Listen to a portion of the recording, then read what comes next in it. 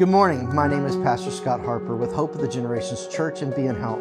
I want to thank you for joining us today to watch the premiere of Overcoming Depression with Dr. Henry W. Wright. Depression is an epidemic running rampant through our modern society. It is often considered a life sentence with only the continued crutch of medication to help somebody have some sense of normalcy for those affected by it. What if I told you that it doesn't have to be that way? God is so much greater than the bondage of depression, and He has provided a way of escape for you. His will for you is not just survival, but that you would truly thrive in the relationship with Him, yourself, and others. Now, this conference is around five hours long. Don't worry, we're going to take plenty of breaks in between. Just make sure you stick with us throughout the entire time because we have some exciting offers just for you for watching today. God bless you and enjoy.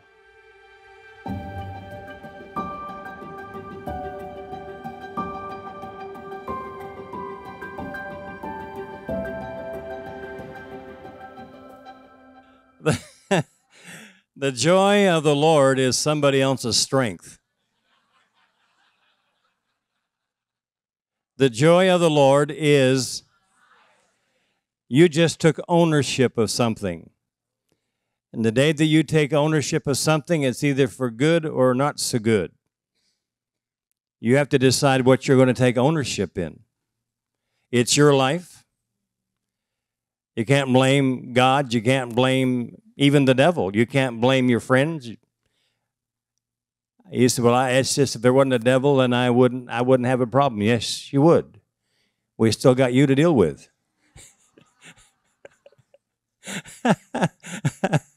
Come on now, I'm having some fun with you. I um, I'm going to approach this subject all day, trying to keep it as non-clinical as possible, and to give you an insight into the inner workings of the various types of depression.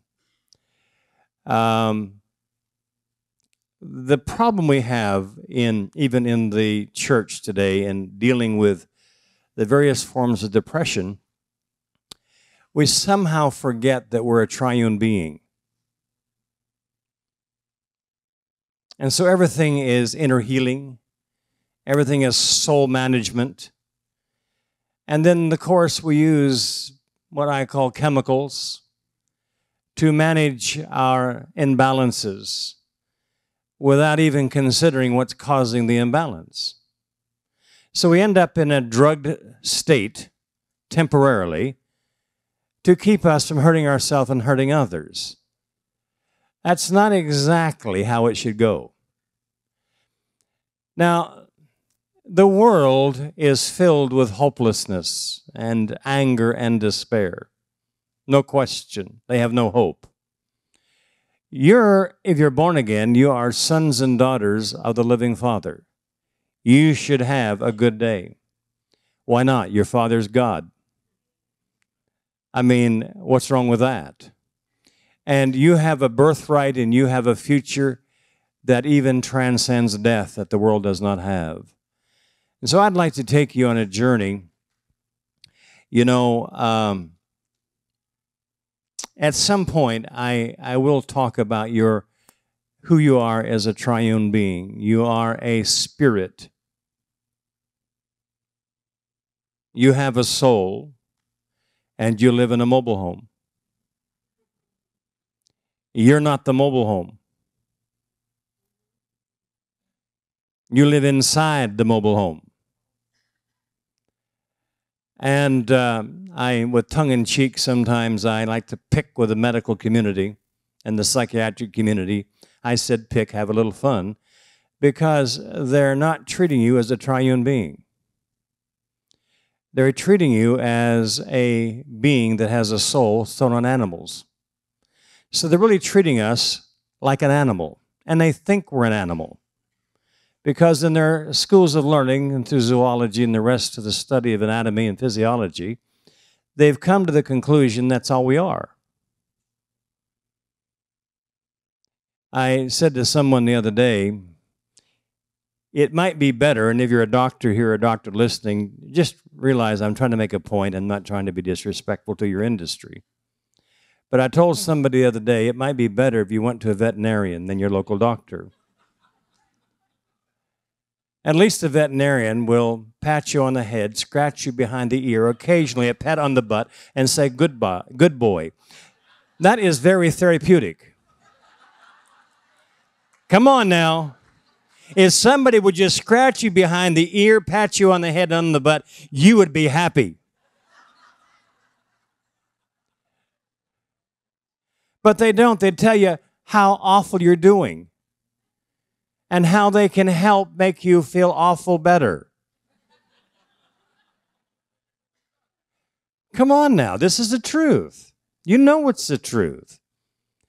So I'd, uh, you know, I have a doctorate in Christian uh, therapeutic counseling, big deal. All that means is that I understand you from the inside out. So I'm not going to approach depression from managing your physiology through drugs or through therapy or through guided imagery or through whatever the modality that they're trying to do to keep you from floating off your chair and to keep you earthbound a little longer. Now, we're not going to go there. But at the same time, I think I need to deal with some of the uh, clinical terms just from standpoint of education. I'd like to take this time to do so. Depression involves being depressed.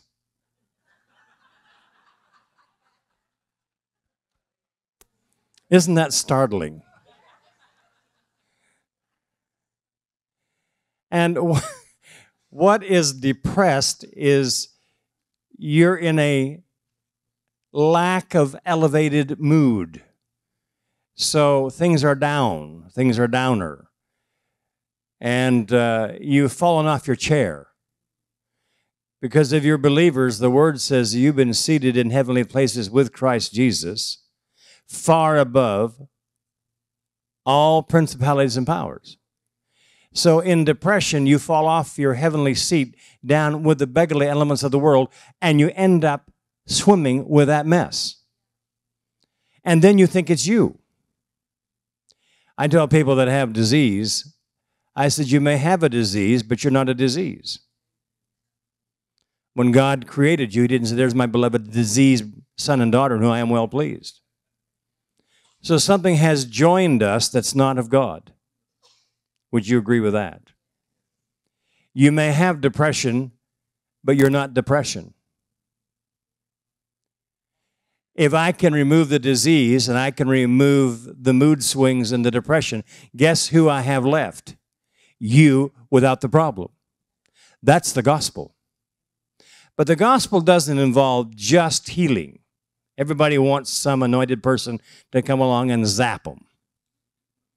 That's what they're looking for some anointed zapper.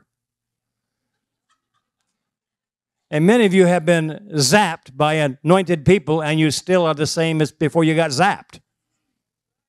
And so they don't know what to do with it. They just keep zapping you in Jesus' name, hoping it sticks one day. Not realizing that the problems we have are the byproduct of a journey spirit, soul, and body. Now, depression is a state of being. Or could I say, a being that currently is in state with a certain mindset. And that person can have an aversion to activity, an aversion to be around people. They go into isolation, they withdraw. One of the one of the worst things that can hurt you in depression is withdrawal. One of the first things that can help you heal from depression is come out of isolation. Plan to be around people you don't like that'll really challenge you.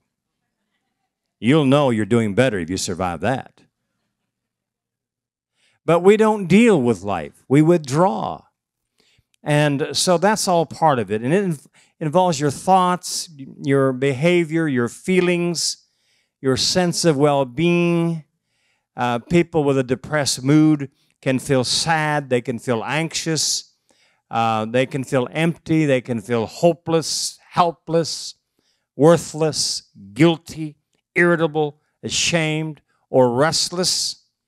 They may even lose interest in activities that were once pleasurable to them. They may experience overeating or loss of appetite, have problems concentrating, remembering details, or making decisions. They may even contemplate or even attempt or commit suicide. They'll develop insomnia, excessive sleeping, fatigue, aches, pains, digestive problems, or reduced energy may also be present. Yuck. I didn't feel good already. Now, there may be a depressed mood, and let me say this to you.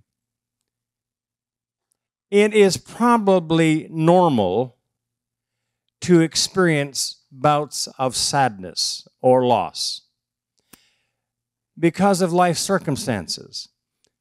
But usually we recover because we the joy of the Lord is our strength. And we live by godly principles which defeat the things that are not of God. And we usually come out of that. Also, you may not understand, and I'll deal with this later in this conference, we don't understand temptation. We don't understand the source of temptation. God doesn't tempt you. You may have an original thought that's not good, and that's certainly possible. But we don't really and aren't taught in the Christian church that we still can be tempted by an invisible kingdom that answers to Satan. It is very clear in Ephesians that your battle, your war, is not with flesh or blood. What does that mean? Your battle is not even with yourself.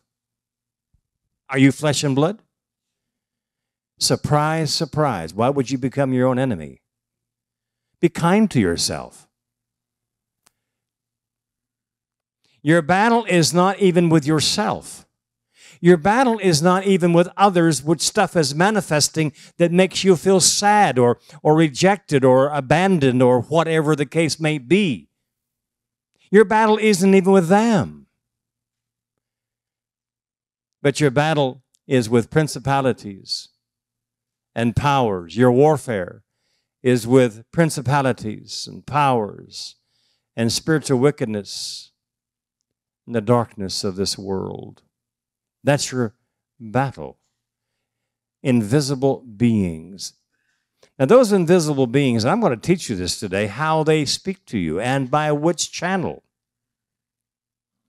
To give you thoughts and feelings as if it were your own mind. Church, you are so easy to be influenced by that other kingdom. It gives you a thought, you take ownership, and we'll see you later. That's how it's happening. That's how it how you've been had.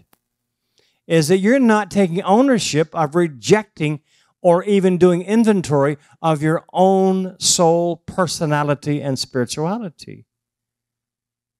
Because you have a, had a thought does not mean you have to take ownership of it. There's not one person here that's immune to temptation. There's not one person here that's not immune to the feelings of hopelessness and despair and fear and anxiety and bitterness and rejection.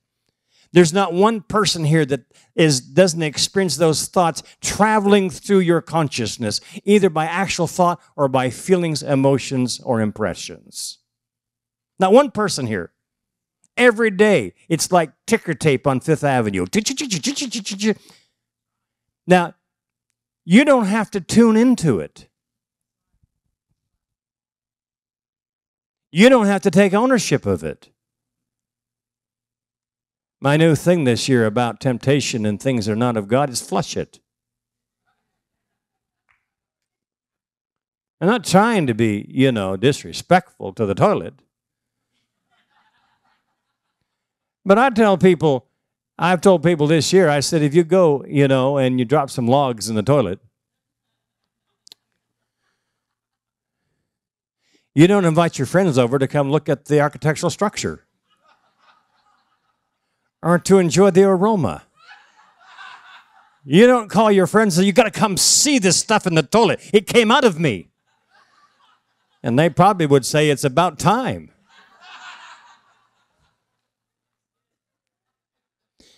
But why do we embrace things that are just as disgusting? I like that word. I heard it in the audience. Just as non essential. God created you to flush things that aren't good for you. Then why don't we learn to flush our souls and our spirits, not just our bodies? Come on now, I'm giving you a parable. All the religious spirits are all upset now. So I don't think a man of the cloth should talk this way. Not a man of the cloth, I'm your brother. Are you tracking with me? Maybe that's how you defeat depression. Flush it. Quit taking ownership of things that aren't of God. You say, yeah, but there's that goat. I ain't a sheep. Sheep never say, yeah, but. They go, Amen. Amen. Goats go, yeah, but. Well, no matter what you say, you got a rebuttal. No matter what you try to say positive, you got this spiritual sass. Because the person doesn't want to change.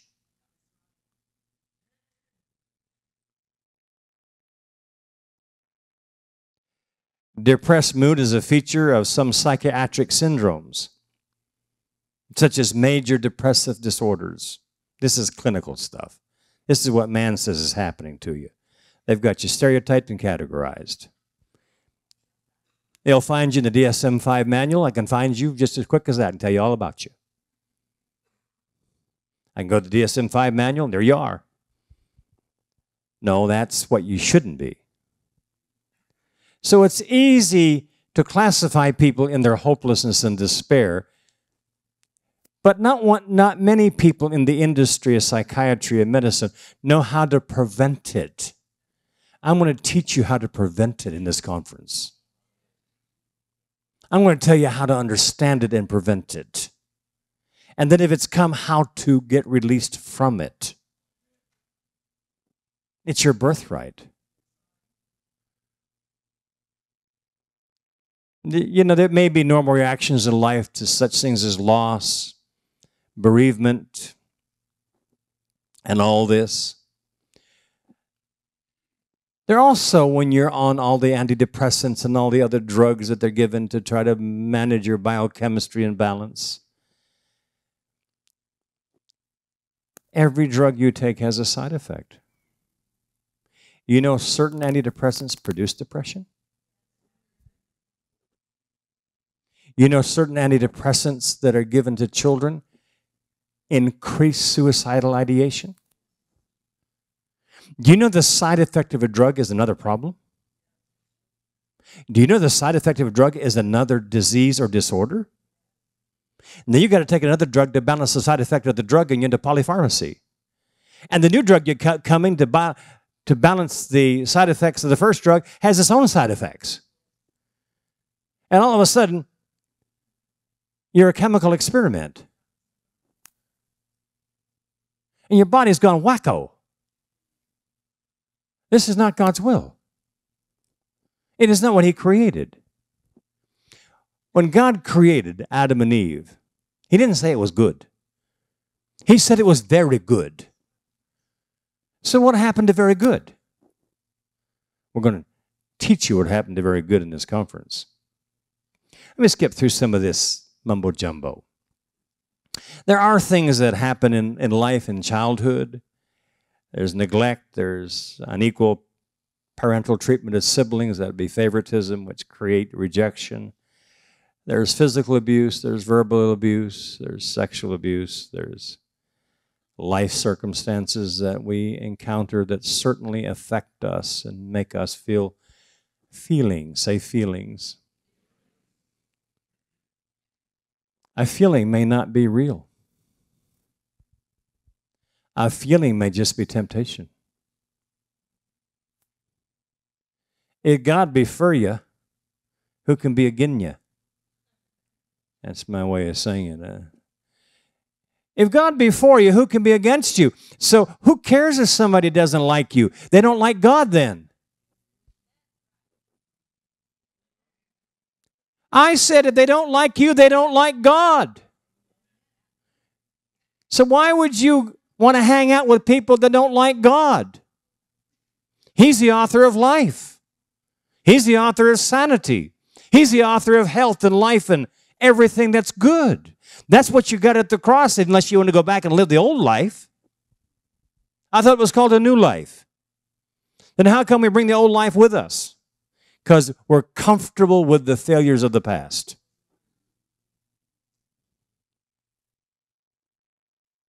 Or comfortable with it. We have something to talk about. We want people to come in and look at our stuff.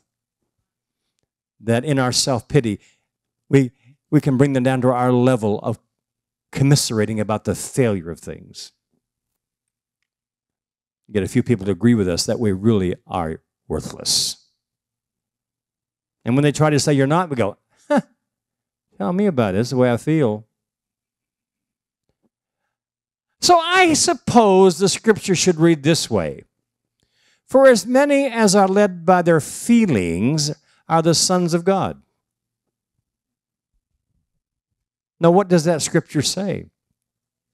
For as many as are led by the Spirit of God, they are the sons and daughters of God. If you're going to be ruled by your feelings, no Spirit of God there. Now, it's okay to have feelings that are productive and positive. That's part of your soul expression. So, being happy is normal, being unhappy is abnormal. Having hopelessness and despair is abnormal. Having hope is normal. Having fear is abnormal. Having faith is normal. When did we decide to stay abnormal? I thought the cross made it possible that we could be changed into normal.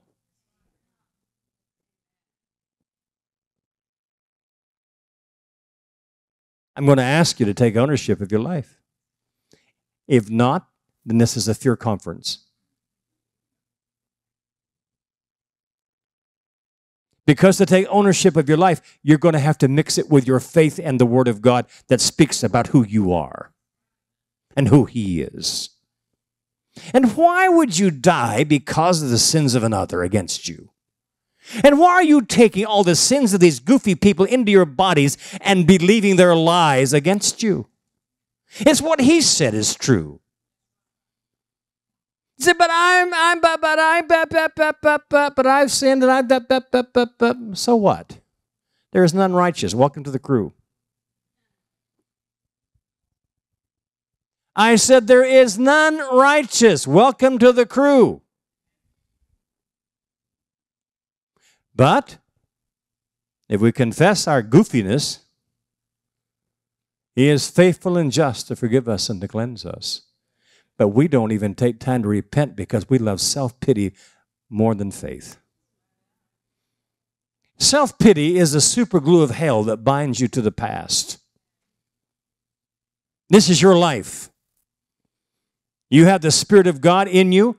Get up and let God in you get on with it. Yeah, I say, yeah, but uh, uh, here we go. Goats again. The goats of his pasture.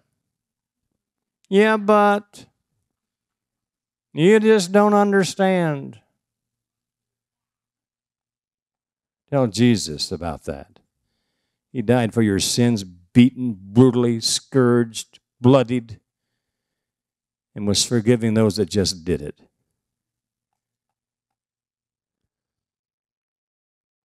Tell me about it. Say, Lord,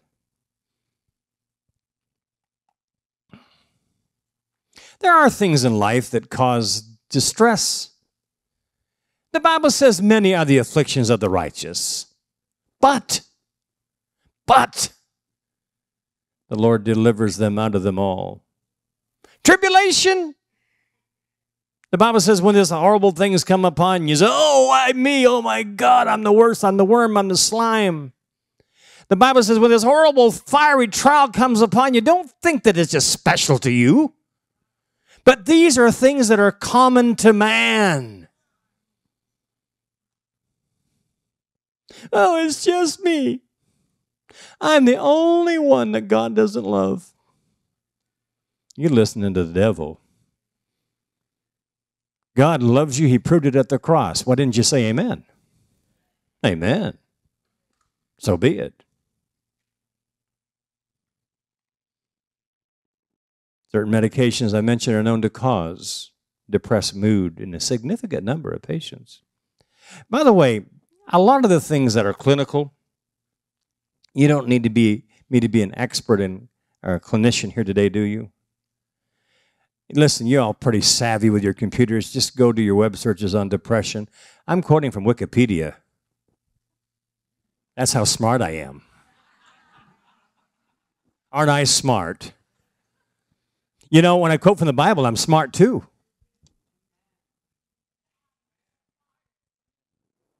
Wiser. So, whether I get information from the Bible or I get it from the study of science or what man thinks he understands, it's just information, is it not? It's a resource of information. All of us don't know nothing. And those people that say that they know something haven't solved the problem yet. So I'm not going to say I know anything because you expect me to solve the problem. I, I'm sharing information with you that perhaps God can use it to help you prevent depression if you have it, get free of it, and then also make you expert in helping others. Because the information I'm giving to you is for you to use it with your friends and your families and strangers. That you can help them understand this incredible, dangerous pathway of thought and how it comes. Then you can help other people. Wouldn't that be good? Then you don't have to send them to me. You help. I don't want to be worn out. I don't want you to be worn out. You go help them. Yeah, it's good. There's a number of psychiatric syndromes. We're going to dip into some of them today because everybody's interested. And uh, the area, of course, would be um, bipolar, manic depression. Everybody wants to know about manic depression, bipolar. I'll get into that sometime today if I have. Yeah, I think I'll get there. Um, there are some gender differences. I just want to go. This is Wikipedia, okay? well, I'm giving credit for where it came from, aren't I? There are some gender differences. Um, that women have a higher rate of depression uh, than men but the incidents of suicide are greater in men than in women. We get into uh, inherited bipolar, genetic. Um, it's about two to one females over males in bipolar, inherited genetic bipolar X chromosome. And one of the reasons for that is interesting biologically because it's a defect that's inherited in the X chromosome. I'll get to that later. But females have two X chromosomes. Males only have one. So the incidence of the biological incidence of possibility and probability is double in females than males. If it's genetically inherited. And most professionals that I've, I've tracked in their, their studies and case histories feel that, uh, for the most part, most uh, bipolar is genetically inherited. And I'm going to show that to you in the charts. Um, well, maybe I'll do it now. Every one of you has one of these. Do you see it inside your body? Yeah, it's in there. This happens to be the X chromosome. Down here in section 28, you see where it says manic depressive illness X linked? This is a recessive gene through the mother. Recessive gene through the mother. Now, I'm not going to teach you about that until later, but why the mother?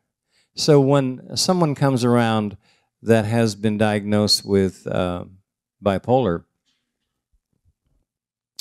manic depressive, this is bipolar, I'm looking to see if their mother has it or their grandmother because it's very common.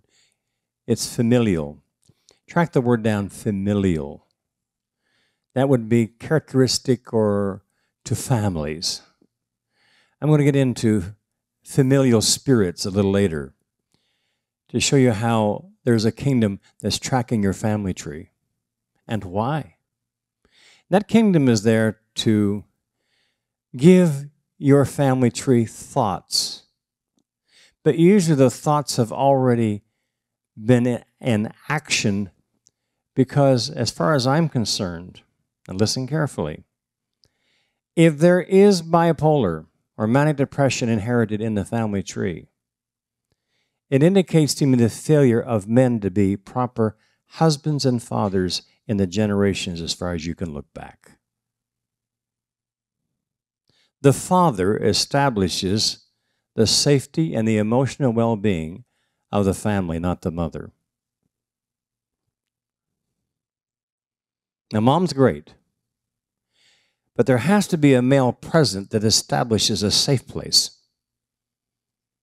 A safe place. Now, everybody wants a safe place. It's amazing in creation and you, you track with me on this one, that when a child is born and begins the journey of awakening to these strange people that have sounds coming out of their mouths, and is beginning to understand that certain sounds is how they learn language is associated with that item or person the first person that they actually this is almost this is almost classic. The first word that most children say, male or female, in the learning curve of speech is dada. In English, is dada. Is that not true? Because God has birth within them in their creation looking for a father. Because that father is to represent God the Father of love from heaven.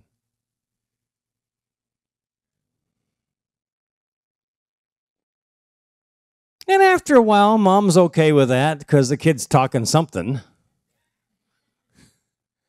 But she's kind of feeling rejected because she's wanting to hear mama. So she says, okay, Johnny or Sally. Uh, that's dada. Cool, you got it. Mama. And Johnny goes, dada. No, no, no, no. It's not dada. I'm mama. Dada. If this flow of safety from the male is broken and no covering, we're going to wait right, right back to Adam today. This thing came in through Adam, refused to cover his wife. In fact, he blamed her. It's that woman you gave me, Lord. I'd have been a spiritual man. But it's because of her. You know how many men won't be spiritual because they blame it on their wives? So she's oppressed, suppressed. This creates all kinds of spiritual problems in the flow of the generations. And not blessings coming, because blessings only belong to those that are doers of the word. You can read it for yourself in Deuteronomy 28. And it should come to pass. Verse 1. If you hear what God said and you'll do it, then all, I like the word all, these blessings shall come upon you and overtake you. Actually, it's a little stronger than that. Everybody today is into the prophetic. Okay, I'm going to give you a prophetic statement, but it's not coming from me, it's coming from the Word. Deuteronomy 28, verse 1. And it shall come to pass. Is that prophetic? It's as prophetic as it comes. You don't need another word from the Lord, it's already there. And it shall come to pass if. So is the prophetic conditional? No one wants to make the prophetic conditional. God is true, but not all men and women want to be true to God's word. He'll never change. He says, I change not. But we want to change God's word because it requires that we change into his image. If you're going to defeat, defeat depression and prevent it, you're going to have to prepare to be changed into his image. And the Bible says, from glory to glory, we are being changed, present progressive tense, into his image. Are being changed. God is not depressed. God has no fear. God has no bitterness. God has no hopelessness. God has none of the things that we struggle with. And if we've been made in His image, what in the world did we lose? His image. You got born again by the Spirit of God that then you could become the journey of being changed into His image. Not acting like you were before you got saved. But you had to take ownership. And it shall come to pass if the man or woman will hear what God says and do it. There's action. Not just knowledge, but action. Being a doer. Not just a hearer. Take ownership of you'll never defeat the enemy or depression if you don't take ownership for your life. It's your life. Get up, take ownership. Quit blaming others because you're not happy. He's happy. You're his sons and daughters. Why aren't you happy? Being a son and daughter of God the Father, you should be ecstatic. Every day, ecstatic with joy and happiness that you have made peace with the Father of all spirits. You should be ecstatic. Yeah. Son of God. Yeah, I am. Henry, Son of God. Somebody says, No, you're a son of the devil. No, because you have an accusing, awful spirit. You didn't save me. He did. He saved me. He didn't need your permission to save me. He didn't need your permission to release the Holy Spirit to me. He didn't need your permission. He just decided. And if he decided, I say amen. I say amen to the amen who said amen to himself when he said amen when he said amen. Amen. So be it.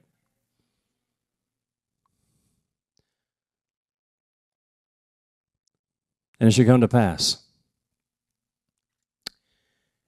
It also says there in Deuteronomy, it should come to pass in verse 16, prophetic. And it should come to pass if.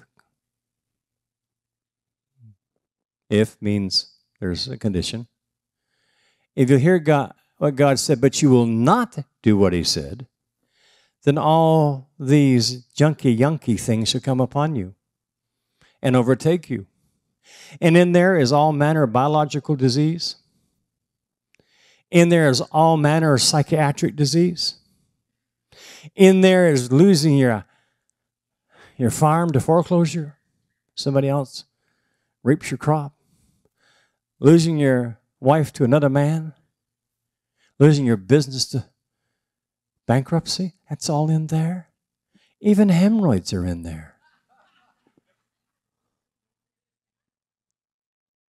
Right there. Hemorrhoids. Are hemorrhoids a blessing or a blank? If you think hemorrhoids are a blessing, I need to talk to you. Then if you, think hemorrhoids are a blessing, what are you going to a doctor trying to get rid of them? Say, thank God for my blessing. That's crazy. You're authenticating something that's not of God. Wow. What else can I tell you? So much Wikipedia.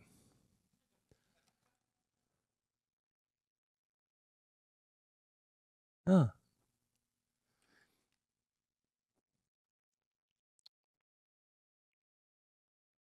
More facts for you. What is depression? Is an illness. Now, I want to tell you something that depression is not an illness, it's not a disease, it's a syndrome. There is nothing biologically wrong with the human brain. If there was something wrong with the human brain, it would be organic. It would be organic damage, maybe from injury or from birth defect or something of that nature. But when you start taking medicines or antidepressants or whatever, there's not, not, not one part of your body is being healed. Because there's nothing wrong with your body. Now, I'm going to get into neurotransmitter imbalances and chemical imbalances today.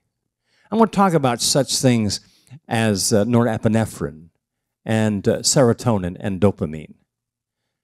Because there are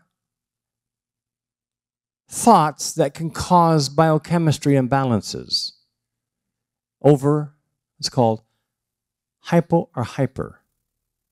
Hypo, under secretion of various neurotransmitters. And there's hyper, which is the overproduction of various neurotransmitters. So we're going to we're going to get into some case histories today from my experience of healing. People have been healed. As we take a look at what's causing and specific diseases we'll talk about, such as paranoid schizophrenia, even right down to Parkinson's, is not a true disease either. Now, what's the difference? You go to a doctor, he's going to give you a diagnosis of what? The diagnosis is meaningless, but it's important to know what's malfunctioning in the body. I'm not against diagnosis, I'm against not dealing with the etiology. The word etiology means cause, causative. What causes this process? What causes the body to go into an imbalance of homeostasis? What causes uh, nerve signals to be interfered with what, what causes hormones to be over released or under released? What causes neurotransmitters to be over secreted or under secreted? What is, the, what is the causative action? You've got to learn that. So rather than give a drug to balance the imbalance, where is the sanity that says we need to stop what's causing the imbalance? Thereby, we won't need the drug to balance the imbalance. Did you get that? Let me say it again because I'm a little slow too. Rather than giving a drug to try to balance the imbalance with all of its side effects, why don't we dig a little deeper and find out what is causing the imbalance? Deal with what's causing the imbalance, deal with that so there will not be an imbalance, and thereby there'll be no need for the drug to balance the imbalance with all of the side effects, because what I offer to you is no drugs at all. Truth. You don't need a bunch of pills. You need one the gospel. That's all you need. And there are no side effects. But you have to take ownership of truth and work it and live it. And you have to have your minds changed and your spirit man changed. And you're going to have to change your entire personality to be like Him. And why not be like your father? He knows everything. I want to be like dad. Not an earthly dad I do want to be like. Lord have mercy. I'm a preacher's kid. That tell you enough?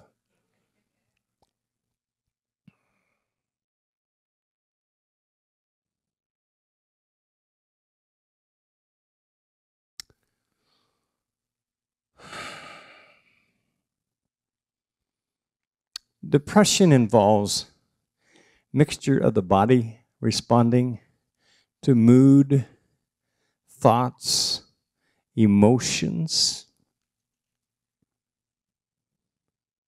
Anytime you don't deal with thoughts that are negative or thoughts that aren't making you feel good, it eventually will become part of your persona. What's persona? Your personality. The enemy knows how to train you into mood disorders. He knows how to entrap you with his personality.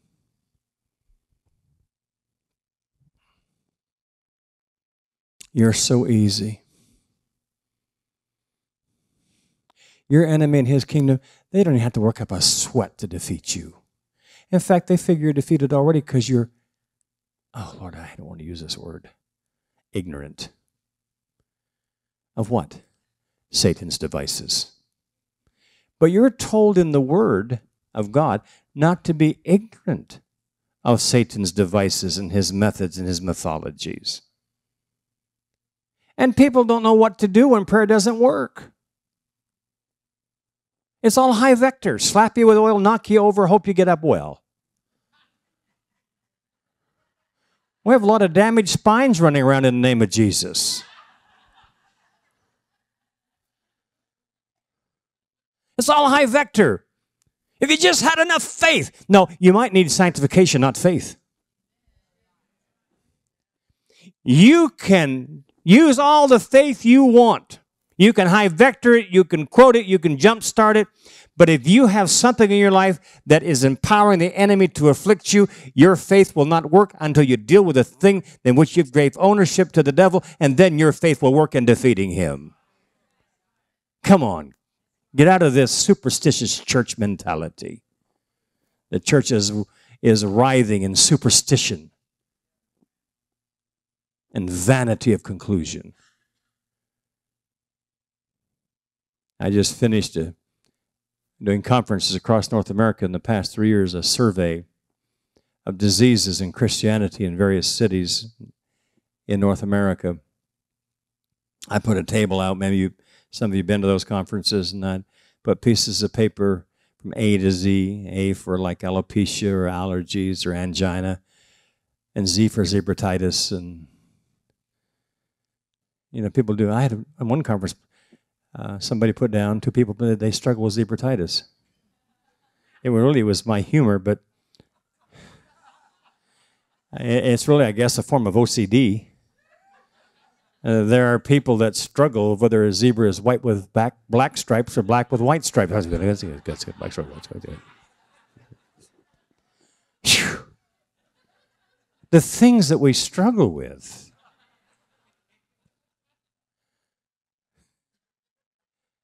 Incredible. But in, in my journey, I found the average audience that I've addressed in North America in three years is sick. Christians, sick Christians. And I predicted every conference how many were sick in numbers and numbers of diseases. And I was never wrong one time. I can go to your church in your city, walk in on a Sunday morning, and I will tell that pastor what's in that audience and who's there and what they have, and their hands will go up, and he has a sick church. But bless God, we're dying to go to heaven in it.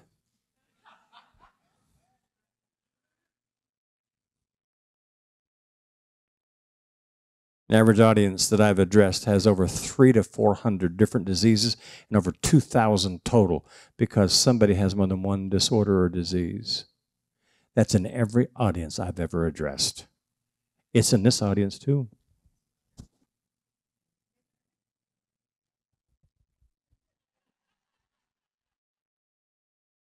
In this audience, there'll be over, over 400 different diseases and disorders and syndromes and over 2,000 in this room. This should not be. Healing is to be the children's bread. What happened to the children's bread? We're not eating bread, that's why. We're not eating the manna of God's word, we're eating that other stuff. Men's minds, fear based, ignorance based. They call it medical practice because everybody's still practicing. They call it health care. In fact, it's disease management. They, they bewitch you with the term health care. When in fact, all you're doing is being managed in your disorders. He who the Son sets free is free indeed. I said, He who the Son sets free is free indeed. You have um, classical depression, Yes, dysthymic disorder, which is, you know, you get all those clinical symptoms. You know what the symptoms are. I don't have to read this, do I? Persistent, sad, anxious, or empty mood.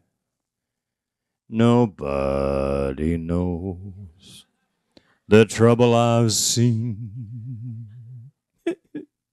but my Jesus, he still loves me, doesn't he?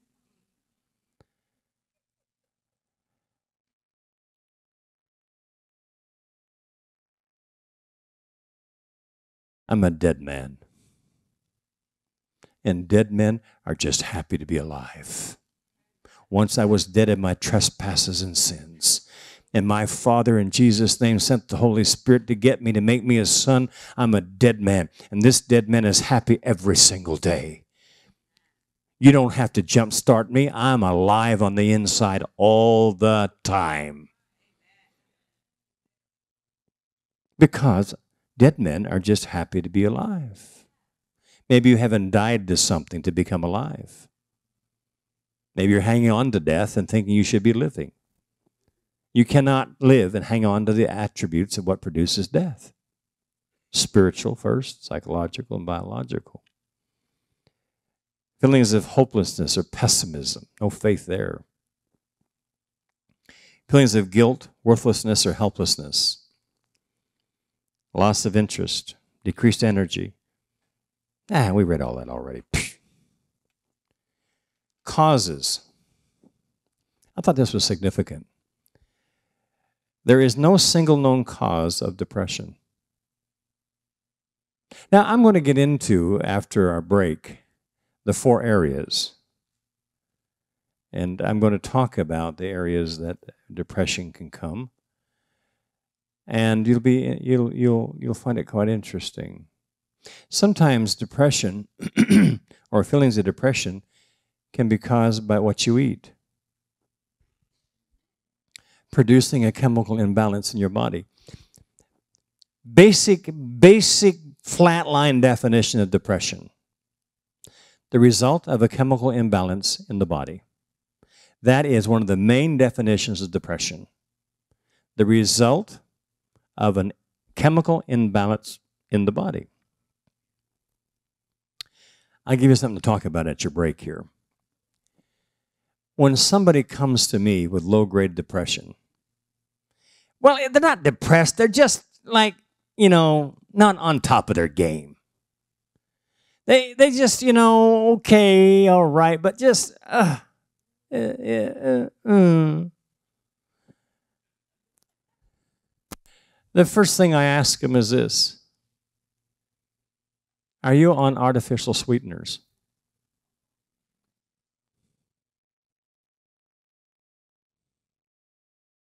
Many people on artificial sweeteners because of fear. Now there are diabetics that, and that we're not talking about, you know, the result of, but most people that are on artificial sweeteners aren't diabetic. They're fear based because they don't want to gain weight the number one product that causes weight gain and reduced caloric burn is artificial sweeteners. The number one product that ignites caloric burn and produces weight loss is natural sugar. You've been had. The villain absolutely is laughing his head off at your fear based thinking. So, what I do, I tell people I said, do me a favor. Come off artificial sweeteners for 30 days, because it's going to take 30 days for your bodies to reacclimate to your biochemistry. It's not going to happen overnight. But come back in 30 days and tell me, Do you feel a little more up about life? Most of them do. Most of them do. Hi.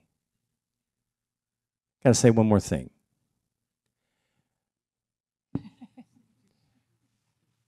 Many people come here from all over the world. Over 40,000 people have come to this town, to this building, from all over the world seeking help for their life in the past 20 years. We have a program called For My Life and Walkout Workshop. We just finished For My Life this week. We just finished uh, a clinical study of the results of the For My Life program in the areas of anxiety disorders and depression disorders. It was professionally done. The results were astounding. I heard the other day that it was even more than what I say is good. I heard as high as 90%. That's, I said, no, I don't better not say that. People won't believe it. But maybe they'll believe 75%. That in the, in the study of people that came through our program for my life and tracking them for two years as to their condition,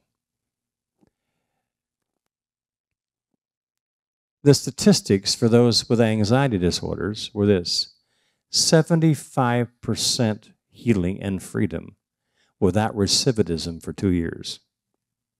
In the area of depression and depressive disorders, the results is almost the same 75% success without recidivism for a period of two years.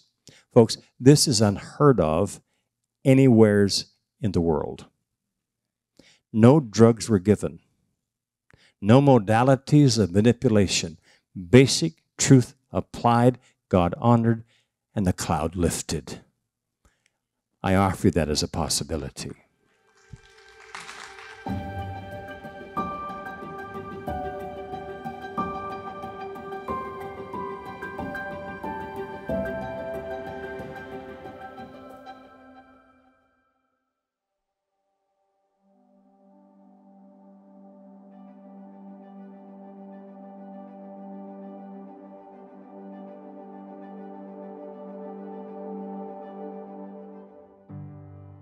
Do you know how many people that I have held that would just weep? And I would just weep with them mm-hmm. until we were both spent. Mm-hmm. Neither one of us were the same person ever again. Amen. I never knew all of this stuff. So I've got a new life and I got a new relationship with my father. And that fills that that emptiness inside of me that I could never, I was looking for things to fill it and could never find it. I got healed from scoliosis and I've had it since I was like 12. Be in Health healed me from ADD. I've been able to open up and make more friends than I had before. Well, For My Life is one week of looking at your life and looking at your thoughts and looking at what is in your background, what's in your family history, and looking at why you've got problems in your life or why you've had illnesses. So it actually is a way of thinking about disease from a, a biblical or a spiritual perspective. And that allows you then to think is your life actually in line with the Bible or is it actually totally out of line with what the Bible teaches? It's a wonderful place. It's a wonderful cabin experience, you know, and you get to hang out with really cool people. It's really neat to meet people from all over the US and even from other countries here. The staff the staff is at amazing. Be in Health is really the oh my goodness. You know, it started from on the phone, you know, mm-hmm. very engaging people mm-hmm. and then to come and meet them in person and the way, you know, they take their time they talk do. with you, you know, and um, give you their shoulder if you need to cry questions. on their shoulder. Yes. These people are so caring. There's no judgment. I have experienced love, compassion, acceptance of Christ through each and every one. All my life is life changing. Life changing. It's life changing. It's a change that other people can see. Take time out for your life don't miss the opportunity.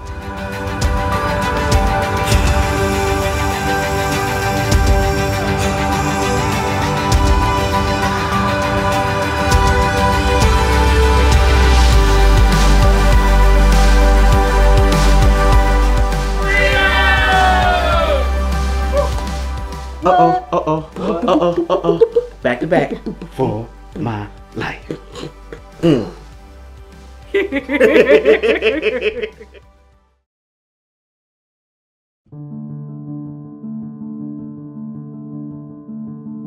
My name is Pam Ratliff, and I'm from Lexington, Kentucky. Uh, I heard about For My Life. Um, I was in a place where I really desperately needed God to do something in my life. And I, uh, due to circumstances in my life, I had uh, of depression. I had been given diagnoses, about four diagnoses, one with which was hypothyroidism. And one day I was crying out to God and uh, I said, I believe you, I believe your word, but I'm drowning here. And uh, he miraculously directed me to the More Excellent Way book. And I picked it up off the shelf, looked at it, and looked at the table of contents. And being a nurse, I was like, oh, something's resonating here with me. So, bought the book, took it home. Uh, my husband took me away for the weekend, so I just devoured it. Uh, the big thing that stuck out to me at that time was uh, Dr. Wright said that if you haven't forgiven someone, there you could feel high octane pings in your stomach, and I literally had fireworks going off. So I thought I had forgiven, and but God revealed to me through the more excellent way, and that I really hadn't.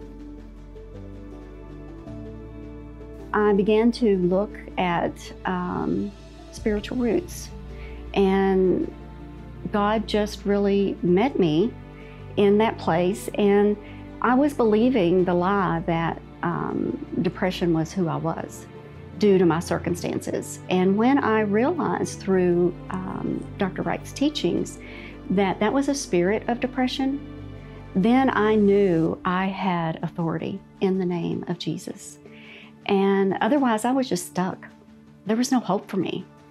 And yet, when I realized that this is a spirit being that He said I have the authority to do something about, I began to cast that thing down in Jesus' name.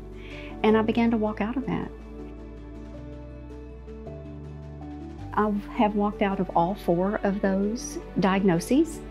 And I like to tell people we always want the microwave effect, we want it to be done immediately. Um, some of those were. God met me, and some of those were immediately um, eradicated. Um, one, I just now um, have, just this year, uh, walked out of hypothyroidism and have been off my medication now since the beginning of May. And um, that's a medication that doctors will tell you you can never stop. But um, what was interesting was about six months before, uh, I felt like I didn't need that anymore. And so I was weaning myself off, and then I just really got fatigue big time. So I was like, well, maybe it's not time. So um, in May, we took a trip. The whole time we were there, which was two weeks, I forgot to take that medication. And so I felt great. I mean, I climbed a big mountain. I mean, there was no fatigue. So I came back home and I began to realize I really don't think I need this. I think God has healed me of this hypothyroidism. And so I gave that testimony to a group we meet and we discuss Be in Health principles. And so I shared it with them. Well, the very next day I was hit with a spirit of fatigue. It was like boom. And I decided, you know what? That is a spirit of fatigue. I am not going to give in to that spirit of fatigue. And I am just going to do what James said I'm going to submit to God and I'm going to resist the devil, and he will flee.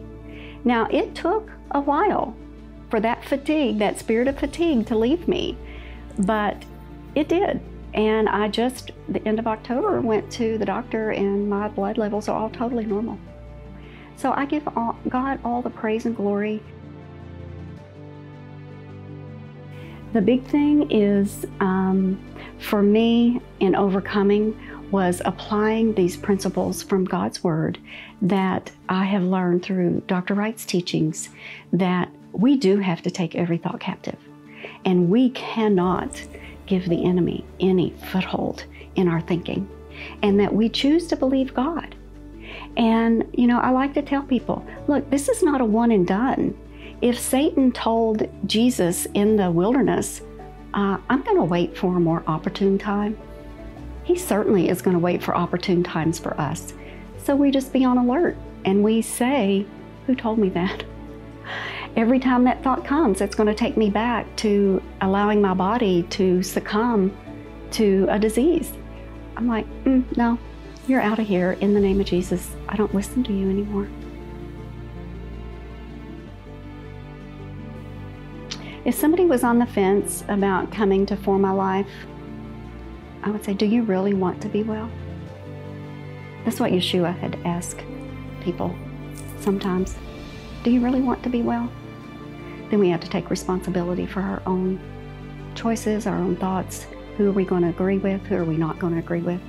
And we have to apply God's word to our life and stop expecting God to do it for us without our part.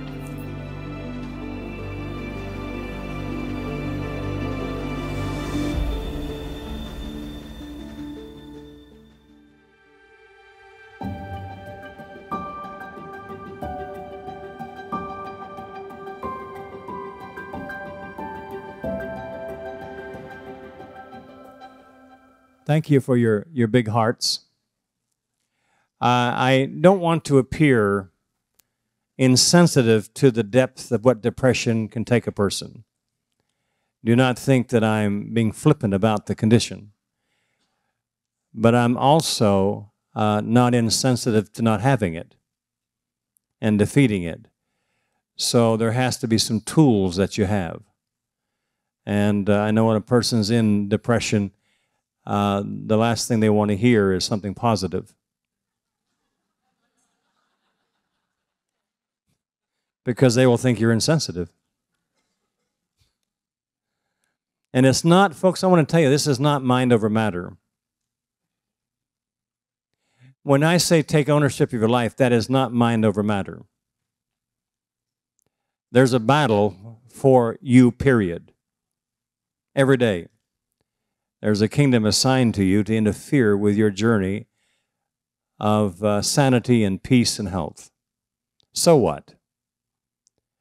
Embrace the concept and plan on being an overcomer. Plan on being an overcomer. There is a narrow gate that leads to life. Few there be that find it. That narrow gate is not out here somewhere that you go chase it down. The narrow gate is right in the midst of the wide gate. And there are many voices in the wide gate asking you to deviate from the principles that will take you into eternal life. I want you to enjoy that time when Jesus said, If you'll overcome as I overcame, as I have sat down with my Father, so if you overcome, you shall sit down with me and my Father. I want that for all of you. To he that overcomes shall inherit all things. Somebody said, Well, this is so hard. Can I give you a reality check? I don't mean to be insensitive in saying this, but I don't care what you're going through. A hundred, no, don't, I didn't finish my sentence. Relax. I do care what you're going through. Wait a minute. Won't that come off wrong? Can I finish my sentence? um, I don't care what you're going through, anything that you're going through or will ever go through here on this planet. I'll give you a prophetic statement. A hundred years from now, it'll be the last thing on your mind.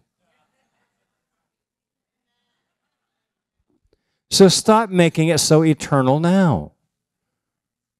I mean, that ought to help you. It, you know, you say, well, I, uh, let's relax. There's hope. And so, from psychology today in this article, it says there is no single cause for depression. Rather, it is likely results from a combination. And I want you to track with me now genetic. Now, I took you, if you could bring that chart back up again, please, of that X chromosome. Right here in medical science, they see down here in this X chromosome, down here in section 28, right down here, that what causes inherited manic depression, illness, X linked, recessive gene to the mother, always appears in this chromosome. It doesn't appear in any of the other ones. It is consistent. Now, God did not create the X chromosome defective. Now, this X chromosome is a carrier for many other problems. You can look down through the list over here, and, and if you can pronounce these words, you're better than often I am.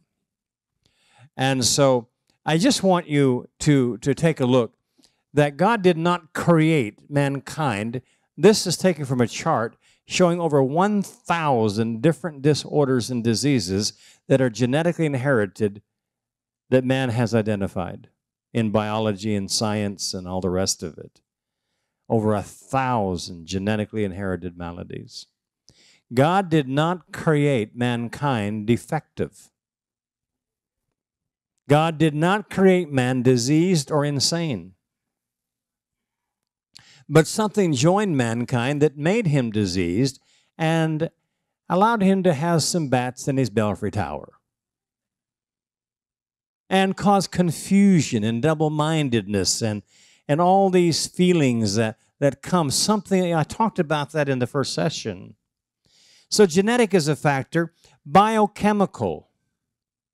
Now, I just did discuss artificial sweeteners is one of the main causes of low, low grade depression. I have some really, I've been doing some research recently on why, why is dementia increasing at 400% per year? And I've had some sneaking suspicions about neurological degeneration.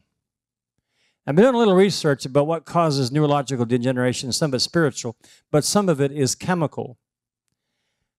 Some of the research that I'm reading, there is some strong evidence that artificial sweeteners are producing neurodegeneration. And that could be the reason why we have neurological pathways that are damaged, producing dementia. Now, Alzheimer's is a different story. That's autoimmune disorder. The other one isn't. They don't know what causes it. But somehow the pathways of memory aren't working. In the case of Alzheimer's, the immune system is producing peptides or a plaque that builds up on the neurological uh, memory pathways of recall, and the thought, the person that has uh, Alzheimer's hasn't lost their memory, it's still there. But the thought can't get through because it bumps into these plaques or peptides that are formed by the immune system, and it can't get through. if The person cannot have the cognition or the remembrance. The other one is quite serious. So I challenge you in your thinking. I, there's a lot of natural products out there that you don't have to use artificially created products for sweeteners. All, they're all over the place, and they're natural and they're safe. I would certainly change my lifestyle to save my mind. A word to the wise right now, folks. We've had to make some changes in our lives to deal with a world that's insane. GMOs aren't much different. There are 45 industrialized nations that are listed in the top list of 45 industrialized nations. America is the one and only nation of the top 45 that has not made GMOs illegal. The collusion between industry and government is a major plague, producing a biological disease genocide of its own people from within. I will not retract that statement. Interestingly enough, and this is a scientific research, that out of these 45 nations, America, which spends 12% of its national gross product trying to stay alive, more than any nation in the world, has slipped to number 45 in terms of longevity. We're now number 45 of the top industrialized nations of the world that are living less long. This may come as a shock to you in additional research. The number one nation in the whole world with the highest level of psychiatric problems is the United States of America, with one third of its people on some type of psychiatric medicine. America. These are serious times. This teaching probably is quite prophetic for you to help you come awake, that you don't have to be a victim of ignorance. Say, well, I don't know. I don't like the word ignorance. Well, the Bible uses that term. It says that God's people are full of ignorance. What it says is really this there's a, the Bible says there's a way that seems right unto a man, but the end thereof is destruction or death. So, because you're following instinct doesn't mean it's knowledge or wisdom. And right now, America is filled with superstition, living by instinct based on past wrong conclusions. And the newer ones aren't any better. America is no longer a Christian nation, folks. Pray for America for revival. Now, so much for that little PSA. Other is environmental issues can cause depression. Other psychological factors. They use the term psychological factors, but nowhere's in psychology. And not one time in the, the new, used to be DSM 4, now it's the DSM 5. Not one time in all of psychiatry, including Christian psychiatry, is the realm of the human spirit even considered a factor in prevention and healing? It's all psych, it's all soul. You might need not need more counseling. You might need just to get rid of a devil that's talking to you. And tell it to shut up. You're not going to be influenced anymore. And tell it to go to its dry place that you can think straight. But the church isn't being taught you have an enemy. The new grace mistake teaching say you don't have an enemy. You can live like hell and you're loved and going to heaven and grace covers you. The church is sick and no one dare say it is. I say it is. But it is not God's will that it be sick. We ought to be the light of the world. We ought to be the shining light of God's mercy and His great and His power and His health and His sanity, not just the opposite.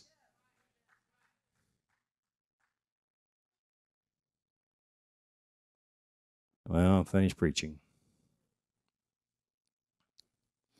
Parts of the brain responsible for regulating mood, thinking, sleep, appetite, and behavior can be affected.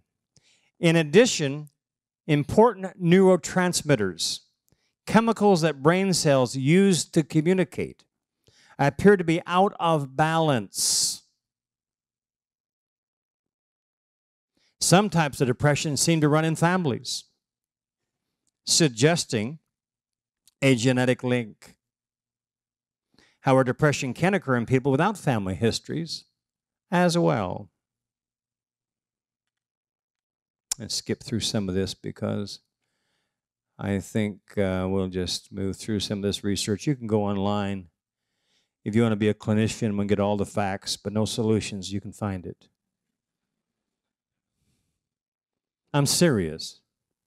The only solution they have is antidepressants.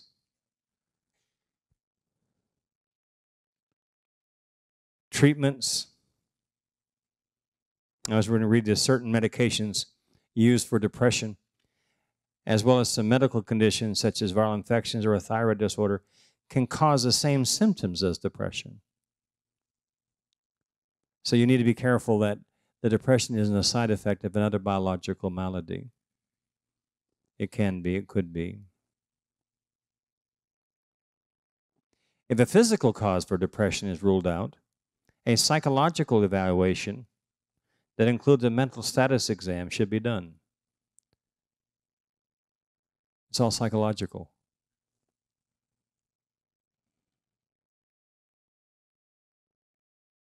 Antidepressants work to try and normalize naturally occurring brain chemicals now called neurotransmitters, notably, notably serotonin and norepinephrine.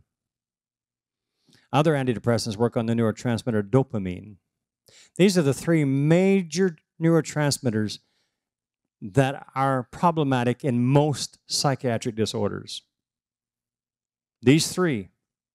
All the enemy has to do is manipulate your biochemistry, and he does it through the influence of thought. You're so easy. Just give you a thought, let you believe it's really you. Let you take ownership.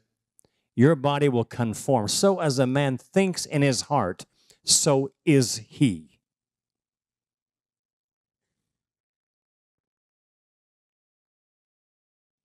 Then you have your serotonin reuptake inhibitors, that's the SSRIs, including Prozac. People who take Prozac are because they have a depression state. I want to talk a little bit about that a little later on how does Prozac work? Prozac does not increase serotonin. Serotonin release can only be increased by a person feeling good about themselves, period. Let's talk about Prozac for a minute. When we talk about Prozac,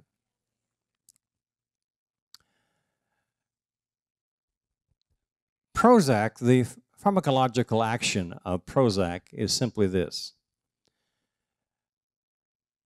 Prozac chemically blocks, shuts down the return ports for serotonin that's floating in synapse at the end of the dendrites to keep it from going back in and being recirculated, which would be normal. Because there's not enough serotonin,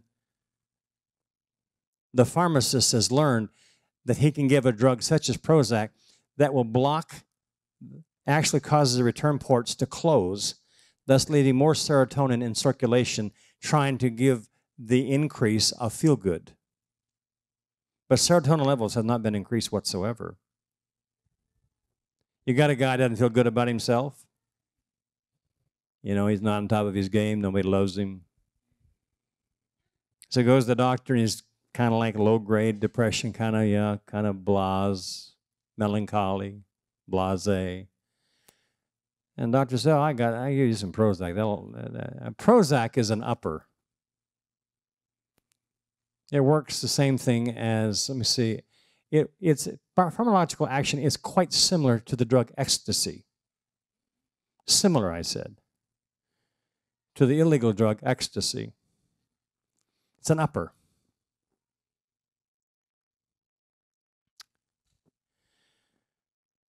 So the guy takes the Prozac. It takes about 90 days for it to get its, its chemical. In fact, you can get Prozac for free for the first 30 days from any doctor. They're going to do it for free to condition you to receive more. Prozac has some serious side effects. First of all, the, the man, say it's a man and he's on Prozac, and he gets into his, into his chemistry of his body the first side effects of Prozac is to cause an anxiety disorder. Well, you've dealt with the feelings of depression, but now you're kind of looking around what's going to go wrong. Now you have to take a drug, an anti anxiety drug, to balance out. Now you're feeling better about yourself, but now you're looking around like what can become paranoia. Going, huh? The next major, these are major side effects. There's about two dozen. The next major side effect of Prozac is loss of libido or sex drive. You got a guy who's not feeling good about himself. Now he's got an anxiety disorder. He's married, but he loses all interest in his wife. You think he had problems to begin with? You ladies expect to be pursued properly by your husbands. You need to expect it. That's your faith. And they need to step to the plate and satisfy that God given requirement.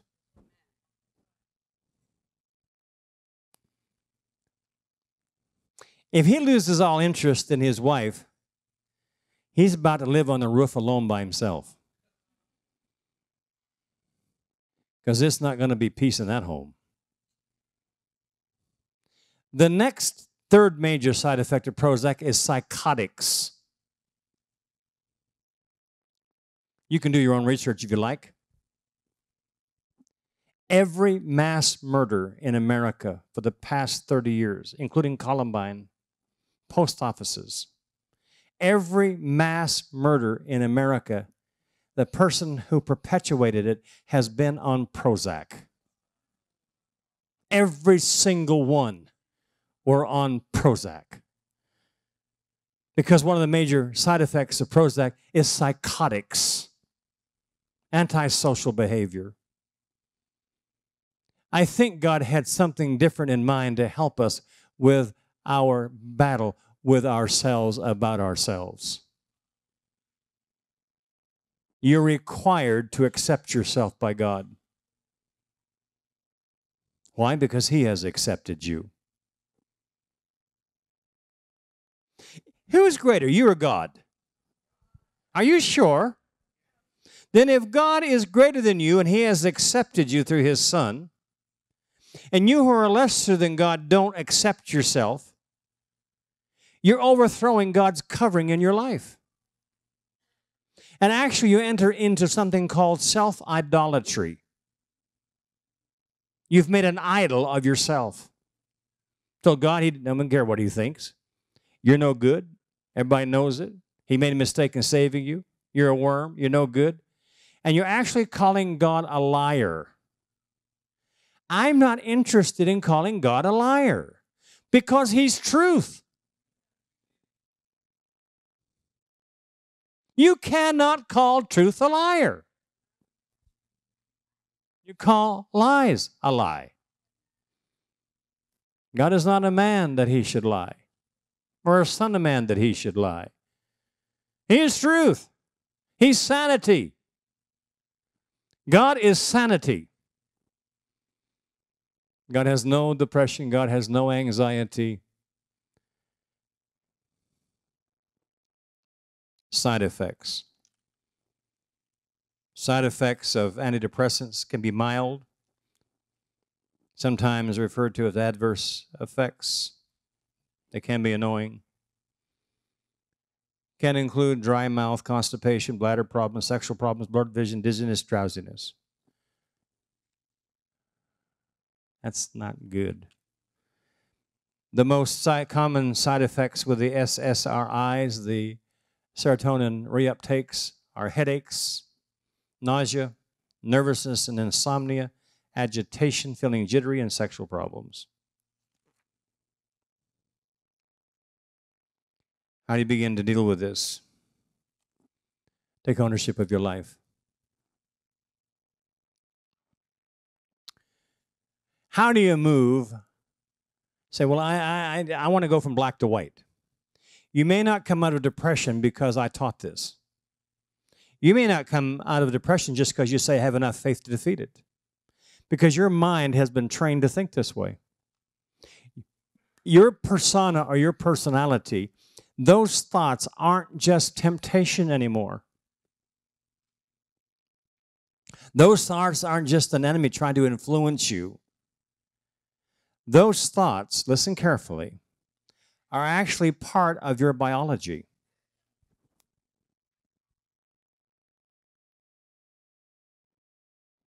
Your enemy knows exactly how to train you in the law of sin. Exactly. Let me tell you a little, a little information about short term memory and long term memory. Because if you begin to understand what I'm saying in this conference, you might have some tools to recover yourself or prevent it to begin with. Maybe. All of you looking at me here, I'm teaching you. Yes, I am. Here I am. Right now, it's short term memory. Could we bring up the spirit, soul, body chart number one?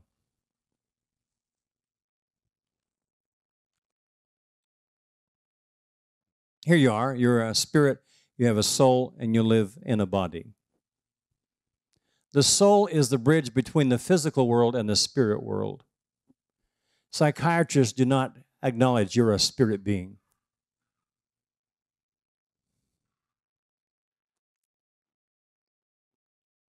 You're perceiving me through one or more of your five physical senses right now. Two of them in particular sight and sound. The images that you're taking in today are being recorded at the soul level in your cerebral cortex because of beta brainwave activity. Beta. Over in England and South Africa, it's beta. That's a fish. No, just kidding. Uh, I either pronunciation is correct. You can say uh, theta or theta or theta. You can say beta, beta. They're all spelled the same. Get the spelling right. You'll be happy. Without this brainwave, you would not hear me or see me. You'd be a vegetable. Now, you might be able to smell, taste, and touch. So, the way I could teach you is through touch, taste, and smell. And later today, that won't be a good meal. So, God has created you. This is very basic, folks. This is basic spirituality and biology. You've heard of the mind body connection? Everybody has, but nobody pays attention to it. But no one really is teaching spirit soul body connection. Because nobody, and here's the problem with science, and you're stuck with it. You're stuck. And I have no problem with, with man looking at what God created, and I'm indebted to science to be able to see what I see. So don't think I'm against science. All that science is, is the evidence of what God created, and I'm happy to know more.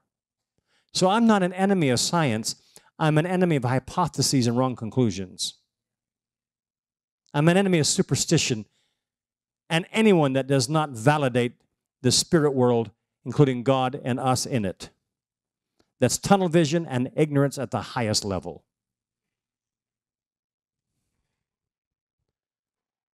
So you're perceiving me through beta.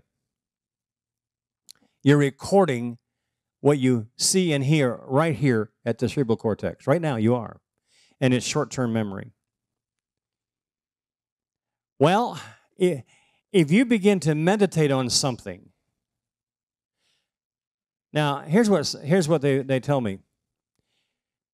You have had to heard something or seen something in its entirety six times just to retain 25% of what was said or seen. We're all a little slow, aren't we?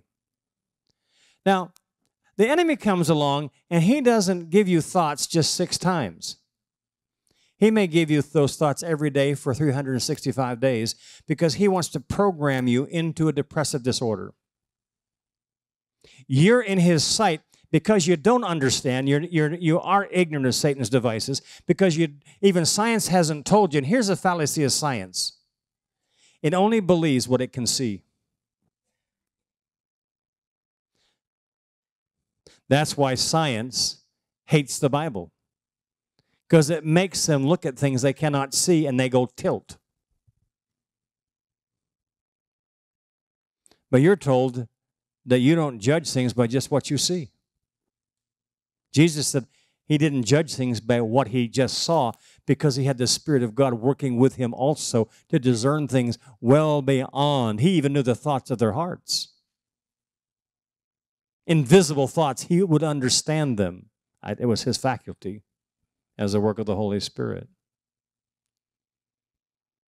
But if you begin to think and meditate on things over and over again, there is a biological phenomena happens called protein synthesis involving an element of RNA, DNA, specifically RNA, that if you begin to meditate on what you've seen or heard over and over again repetitiously, that thought, which was short term memory, now through the process of protein synthesis, synthesis, hard to say it real fast, that thought becomes permanently, listen, folks, permanently part of your biology.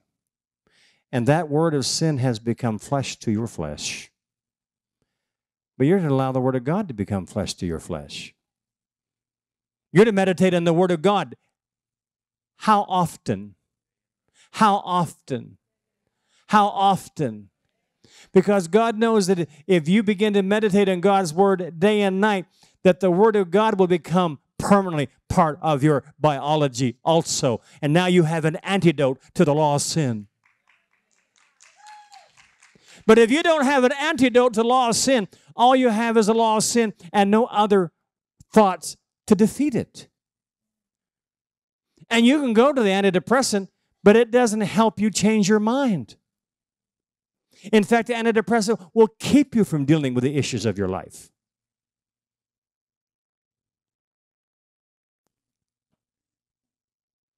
That's why I said coming out of these persona profiles is not that easy because you have to retrain your minds. And the process of coming out of it is that as you put in the God's word, which is life and which is truth, which is the opposite of what the law of sin has come to you by that other kingdom to influence you and tempt you. Now, as Paul said this in Romans 7, he said, In my members, in my members, here's your members right here. In my members, I have two laws. In my members, I have two laws. Read it, it's right there in Romans 7. I have the law of God and I have the law of sin. So don't you. You still can remember how not to forgive someone. But the Word of God says you're to forgive your brother. How often? Seven times seven? No, Jesus said to Peter, 70 times seven, Peter.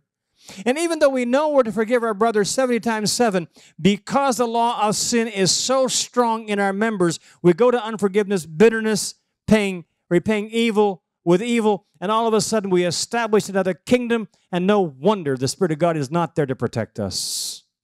Because God does not honor the law of sin, He only honors the law of God. And if you don't have the law of God, you don't have a chance. You can be a Christian all you want, but without God's word, you're easy pickings. Because you have nothing to compare to. You have nothing to compare to.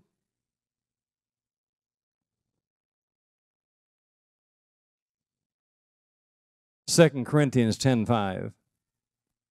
I'm skipping through my teachings, trying to bring things into focus because I got a lot to say. No time to get there. But we're going to get there. Because I want to leave you an impartation, not just the facts. I can give you so much facts you'll fall asleep. But what good is it to give you facts and you don't know what to do with it? Oh, I can break down all the, you know, DSM 5 definitions of melancholy and and bipolar and unipolar and and all the rest of this stuff and I can go into all the clinical stuff and all that and by that time we'll all be off our chairs sleeping on the floor. And you walk out of here with a knowledge about a disease, but you didn't learn how it got there and how to defeat it. I would be derelict in my calling if I didn't show you how to prevent it and how to be free of it. And I'm not selling any medications today. I have no special therapies to offer you. You don't need counseling for 30 years. You need revelation from the truth.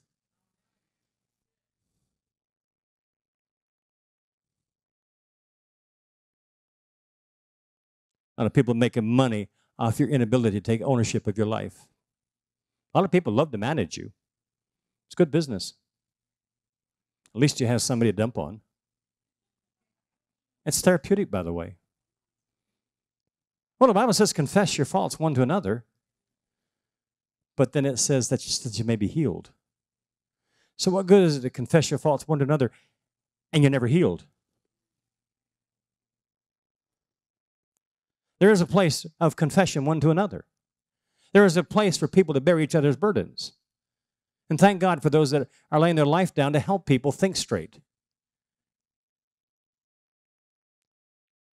But I have to tell you something. I've been unable to help one human in 30 years of ministry that wouldn't take ownership of their own life. Why? Because they had no faith.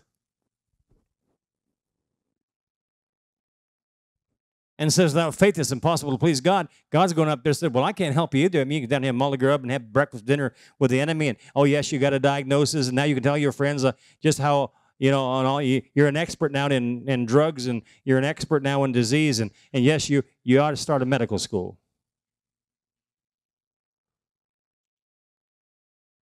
I was a pre med student when I was young.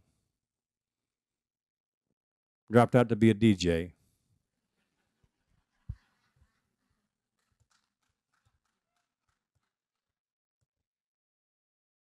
If I'd gone into medicine, I couldn't help nobody. So I was a dropout. I was a prodigal son, 38 when I got saved. When I came back into the kingdom, I began to understand principles beyond science. And today I find myself an expert worldwide in my field, and I'm on the cutting edge of psychiatry and science worldwide. And how did I get here? Because of the Word. Because of the Word of God.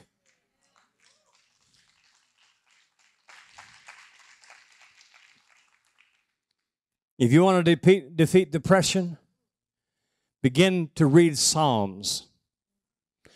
Take a chapter a day, and by the end of that book, depression won't stand a chance in your life.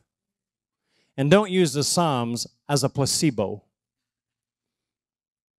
use it as life, use it as truth, and take a lesson from David, who was a man after God's own heart. And yes, he did struggle with his enemies, depression, disease, and yet he was more than a conqueror.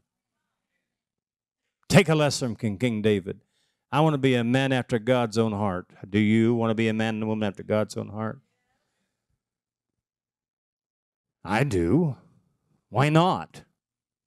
I don't be a man after the devil's own heart. Yuck. 2 Corinthians 10:5. Holding every thought captive.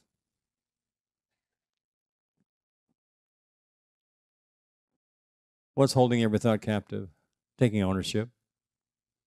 That means every thought you have, every feeling, every emotion, every picture, everything that surges through your consciousness, even feelings, even apprehensions, even because those feelings and apprehensions and thoughts can cause biological manifestation to prove you got a problem. You're so easy. You're so easy for the enemy to manipulate in disease profiles. You're a great disciple of error. But you're not to be disciples of error, you're to be disciples of truth. And how do you defeat error? And how does error defeat truth.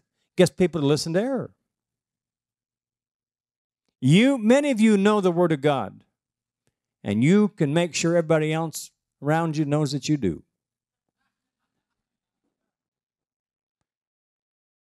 But you don't want to have to live by it like you need to. Oh, we can use the Word of God to show the spots and blemishes and the little little specks in other people, but what about the beam in our own eye? So God doesn't want you to become so educated that you don't embrace it for yourself. You need to embrace truth for you and you alone first. I see so many people trying to help people in ministries while they themselves were castaways and derelict in truth. You know what Paul said? What, what purpose is if I bring all this revelation that God has given me and I bring all this knowledge for mankind and I myself be a castaway? Benefit is that? Be selfish. Eat first the good manna. Come on now, I'm talking to you. I'm being a life coach. Today, I'm being a life coach. I'm trying to preach you a sermon. I'm not a preacher. I'm an irritator and an agitator because God uses me to compel people to think about things that they wish I wouldn't talk about. Because we're so happy in our prison houses. It's like a prisoner. They say you take a prisoner, release him to probation, put him back in society, he'll commit a crime to get back where it's safe. Because he can't stand being free. I see many people, Christians included, cannot stand being free. They just can't stand it. They'd have nothing to talk about.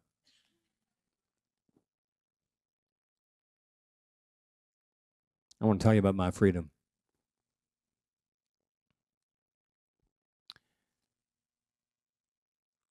Second Corinthians 10 5. Holding every thought captive, casting down every imagination. Let's go over and read it. I paraphrase a lot of scripture. Sometimes it gets me in trouble. So, this one I feel prompting, I just need to read it rather than just giving my Henry version. 2 Corinthians 10, verse 5. Casting down imaginations and every high thing that exalts itself against the knowledge of God. And bringing into captivity every thought to the obedience of Christ.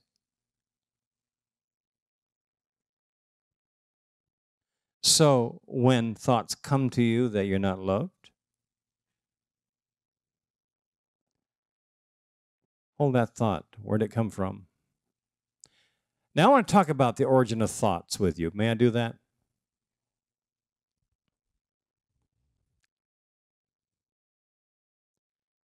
Thoughts can originate in your own mind. You can decide to buy a lie that comes to your own mind all by yourself. Because you have an active brain in there that there's thoughts popping all over the place, feelings, emotions. That's a depository. And everything that you are is recorded in deductive reasoning because of alpha brainwave activity at the cerebral cortex level. So the alpha way allows alpha waves allows you to assimilate, tabulate, condense to bring into deductive reasoning the things that you perceive externally through beta and the things that you perceive internally through theta brainwave activity. This is an exact science, folks. You only have three brain waves that keep you ticking upstairs.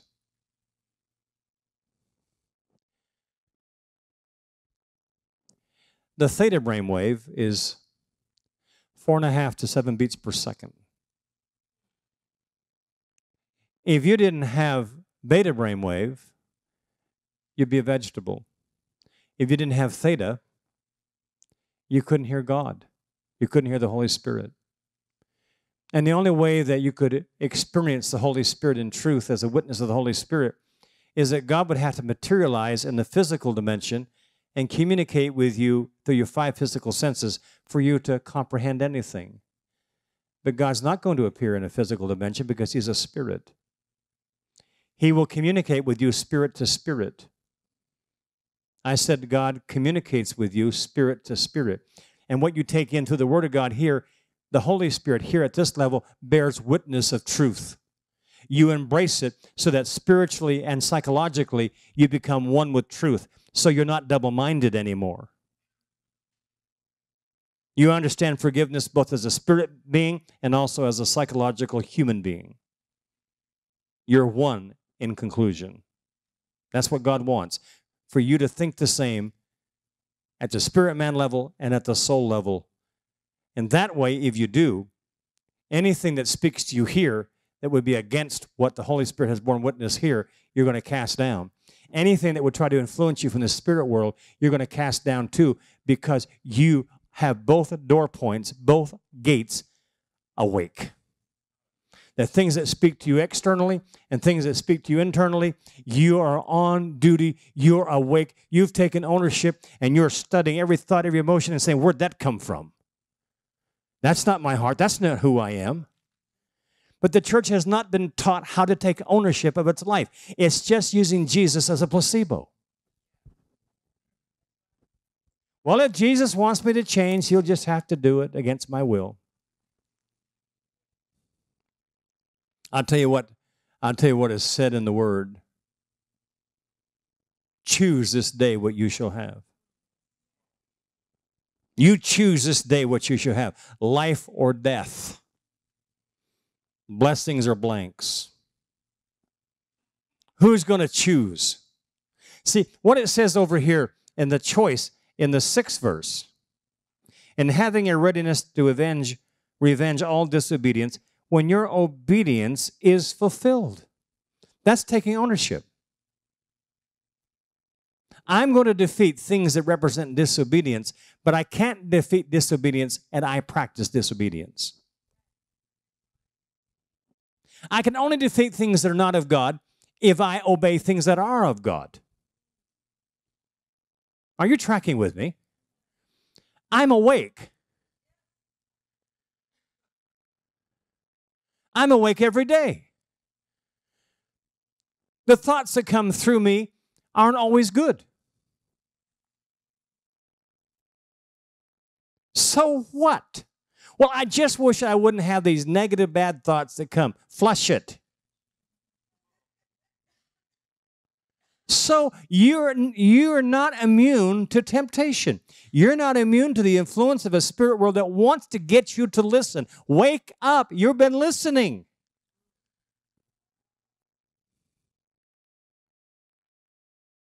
I decide what I will embrace as truth. I decide what is not truth. I decide that if I have a feeling of rejection, I'm not rejection. And if that feeling of rejection can be removed, I get to stay without the feelings of rejection. That is your birthright. Because you have a feeling means nothing. Now, it's good to have good feelings. Don't think I want you to be androids. It's wonderful to have deep emotions and deep feelings, but the good kind, the positive kind, to have empathy, to have love and forgiveness and patience and long suffering. It's good, and God wants you to be that correct human being that He saw. And there's forces don't want you to be what God saw.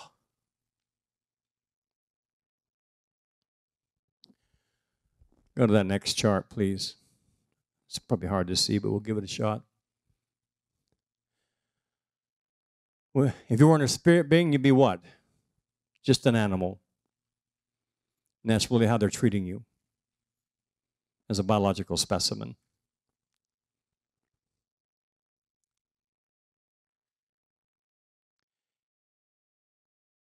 Your spirit is inside you. That's the real you. You are a spirit being. God is a spirit, and He is the Father of what? All spirits. And those that worship Him must worship the Father in spirit and in lies. And in what? And the word says, let God be true and every man a liar. That's in your that's in the ancient writings called your Bible.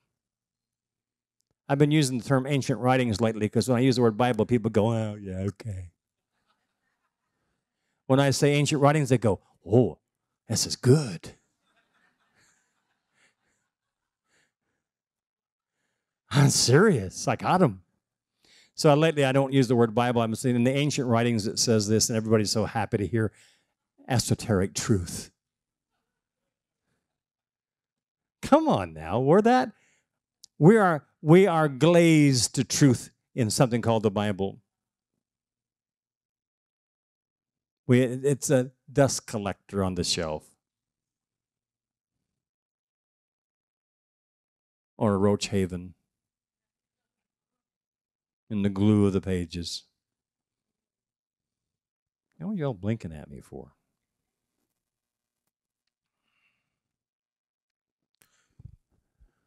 I want you to defeat the thoughts that are causing your biochemistry imbalance.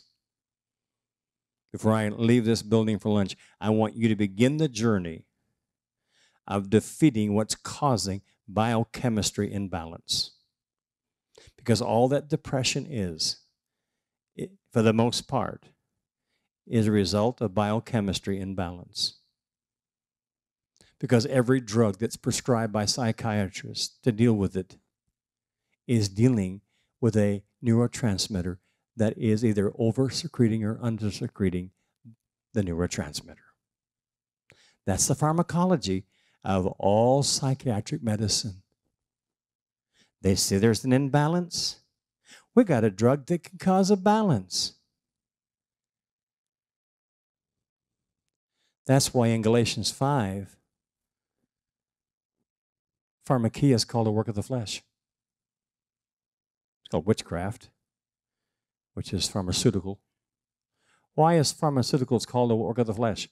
Because it doesn't allow you, if you, now I, I'm not against a bridge, I'm not against people taking a medication to help bridge them until they can get sanctified. I had this saying keep the sinners alive long enough that I can get them sanctified. Because the ultimate goal is that you don't need the medication. Now, God, we're, God's full of grace and mercy, so we, we want to make sure that you don't think that I'm telling you to get off your medication. Not even. But I tell you this that if the need for the medication is rooted in not holding every thought captive, embracing these thoughts and things that are anti Christ in nature, anti God in nature, causing a biochemistry imbalance, the medication will manage you with some relief. That's a halfway house. Medications do not produce cure. I said medications do not produce cure. They're part of the they're part of the application of a halfway house. And most of the medical profession is running a halfway house between life and death. Trying to keep people going and they consider that God's perfect will. Now, God's perfect will is not to keep you going and be managed. God's perfect will is that you don't have a problem at all. It's God, not God's perfect will to heal you. Biblically, theologically, God's perfect will is that you don't get sick at all. And if you're sick, you need to know why. Diagnosis is important to me because I can't see inside the body, you know. But then when I look and see the diagnosis, then I know what thoughts people have that's causing the problem. I'm very knowledgeable in over a thousand different diseases and disorders that when somebody gives me the name of the uh, syndrome or the disease, I know why they have it. I know the etiology. I know the thoughts and the spirituality and the personality that has caused that body to conform to the image of death, not life, or disease, not ease. And all that this problem is, is first the problem is a dis-ease, if not dealt with, becomes a diagnosed disease or syndrome. So can we go over here where it's just dis-ease and deal with it before it goes to disease? Science and the church has no idea what I'm talking about. I'm not being critical. This is my field, and I'm an elder in the Christian church for, for 30 years, and I have a right to speak into my industry anytime I feel like it. And I will, and I do, because God loves you. And He does not want to share you with a villain. The gospel offers you more than cohabitation in a halfway house with a villain and call that freedom. He who the Son sets free is free indeed. Could we hold out for that as a possibility? So, in this, in this issue right here, your thoughts can come from your, your own head. Your thoughts also can come from others who influence you. Fear can be contagious. Gossip can be contagious, it's murder. Accusation can be contagious, it's murder. Speaking evil of your brother is murder according to Scripture. Did we not read the word for our own sanity and our own safety? Did we not read the word? You can be influenced here by people around you. And then how they've influenced you to think, speak, and act is transferred into your soul. And you now have a fixation of persona, a personality. But over here, here you are, right? Here you are. But over here, the Holy Spirit wants to influence you. And the Holy Spirit only influences you by undergirding the Word of God. God watches over His Word to perform it. That's the work of the Holy Spirit. Truth. But the enemy down here, that kingdom of Ephesians chapter 6, that Satan oversees in a bureaucracy, they want to influence you too. Paul said this in Romans 7 I want to do good, I don't do it. And the good that I wish I would do, I don't do it, and the evil that I wish I would not do, that's what I do. Then Paul said, In the day that I do this evil that I wish, this is Romans 7, folks. In the day that I do this evil that I wish I would not do, it is no longer I that do it, but sin that dwells in me. What he's saying is that I have been influenced by sin that lives within to get me to think, speak, and act different than what God intended. And even though I know God's word, and yes, bless God, I say amen to it, there's another war in my members that's warring against the law of my mind, bringing me into captivity to the law of sin. Oh, wretched man that I am, who shall deliver me from this body of death? Well, I thank God through Jesus Christ, there's possibilities for freedom.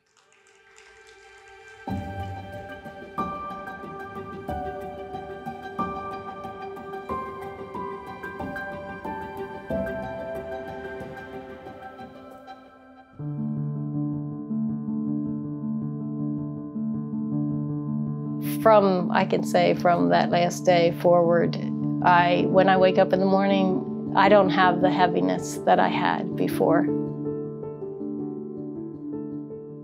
Uh, yeah, hi, uh, my name is Monica Martin, and I am from uh, Pennsylvania. I found out about the program through, uh, or the Ministry of Be in Health through um, a friend um, who I just mentioned Dr. Wright's book to me uh, a couple years ago, and we were just chatting. She mentioned a more excellent way to be in health, and I just kind of stuck it somewhere in the back of my mind. And um, yeah, and as time went on, it just kept coming up in different ways. Uh, she mentioned about YouTube videos that I could get online okay. and uh, watch some Be in Health YouTube videos. And um, so I started to do that. Um, well, I've uh, battled depression for 30 years. Wow. Just on and off. Uh, and um, God's done some work in my life that uh, teaching me about how much He loves me. And, uh, and so there's just been growth times in that. And then there's been times that I've um, struggled again. And so it's kind of been a roller coaster of a ride with uh, depression. There were times um, that I that I did have suicidal thoughts, um, and that I um, I um, sought out help through um, um, a spiritual director and then a psychologist and okay. some medications at one time. And then God just took me through a journey of he, really healing. I believe that I didn't, I felt that I didn't need the medications and yeah. I um, gradually came off of those and, and, that went well and I felt good for a while. Um, but I just, again, then at times found, my, found myself back into periods of heaviness, I'll say. And um, I guess the most pronounced thing for me wasn't any one dramatic event. It was just waking up every morning feeling like I just didn't want to do the next day. Yeah. just a heaviness.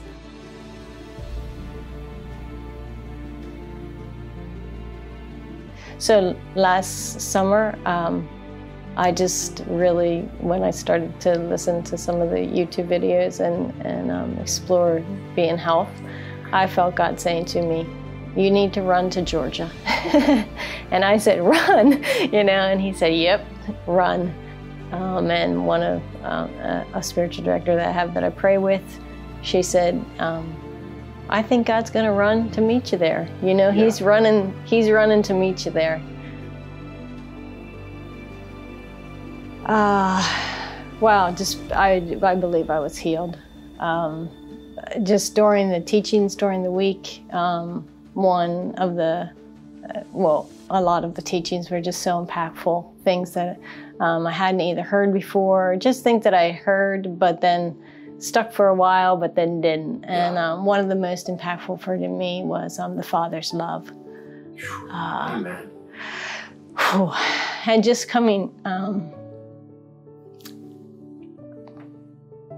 to realize how much my heart was broken and how much it needed to be healed. And really realizing since then, even as I learned to walk in the Father's love uh, in a very personal way, um, just realizing that uh, coming out of denial of how much hurt I really was in um, and how much work how much hurt I've walked in for a long time. Um, and I'm just still uh, trying to understand and beginning to understand um, the lack of nurture because I had two uh, parents that loved me very much, um, but I just wasn't able to receive sometimes their love and sometimes um, they didn't know how. they didn't know how to love me the way I needed to love and to be loved. I think the biggest thing is uh, another part of that week was at the end of the week I had to leave a little early to for a flight, and uh, one of the ministers uh, prayed with me um, for healing, specifically depression, and I, I do feel that I was healed. Um, I didn't feel an instantaneous healing, just uh, as I as she prayed and as I understood again, a lot of um, self-rejection. That that's that was a lot of teaching that week too. That just continues to speak to me about how I've rejected myself, um, and bitterness and accusation and. Um, but just a lot of self-condemnation and and as since that time I didn't like I said feel immediately different but from I can say from that last day forward I when I wake up in the morning I don't have the heaviness that I had before. Um, I, I don't have, I'll call it, some of my friends have that extra positive life outlook, you know, and I say, yeah. I'm not there. I don't know that I'll get there. I don't think that's who God meant me to be. and that's okay. I'm just accepting that. That's okay. But I just don't have the heaviness anymore. I just wake up and say, okay, it's another day. And I can do this. And I don't, I, am not striving to do it, I'm not trying to do it. It's just the heaviness is gone. Wow. It's never returned since last, wow. last July. I would say run to Georgia. Thomaston, uh, I would just say don't be afraid. Uh, I was very afraid to come. I was thankful my son said that he would come too. But I would just say to anybody who's feeling like that and anyone who's struggling with depression or anything, anything, just run to Georgia.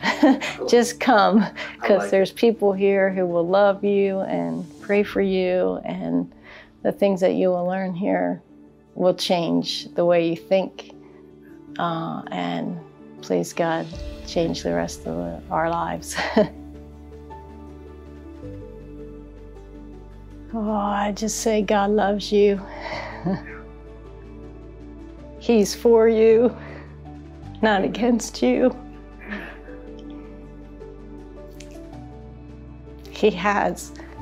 Uh, you belong here on this earth because He's deemed it so. Uh, and that doesn't have anything to do with your mom or your dad, your grandparents. Nobody. God, your creator, has wanted you here. And he says, You belong because I created you and put you here, and that's the reason you're here. And um, to just rest in his arms, and he'll take care of the rest.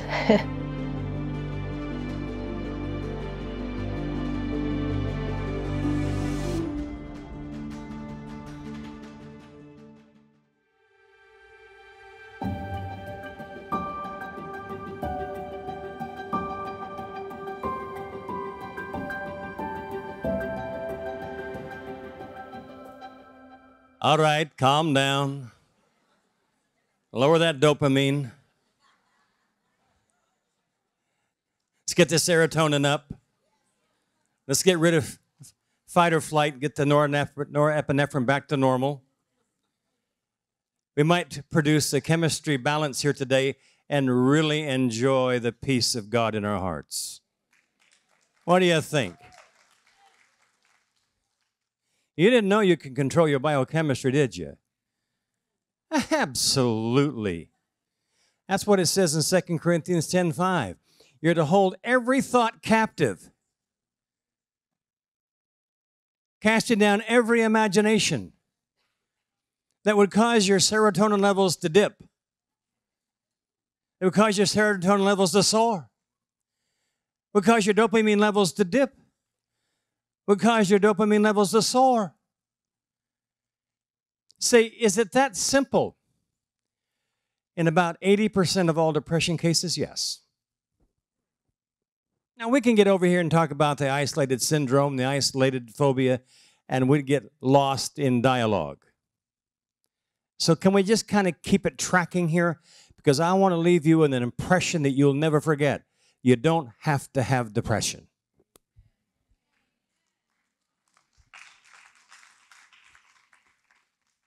But if you don't play by the principles of the kingdom of God and His Word, what God says about you, then you're going to listen to another kingdom reform you into some other image.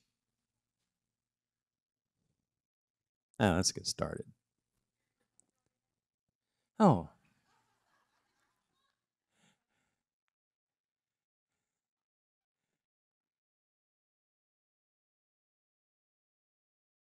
bipolar.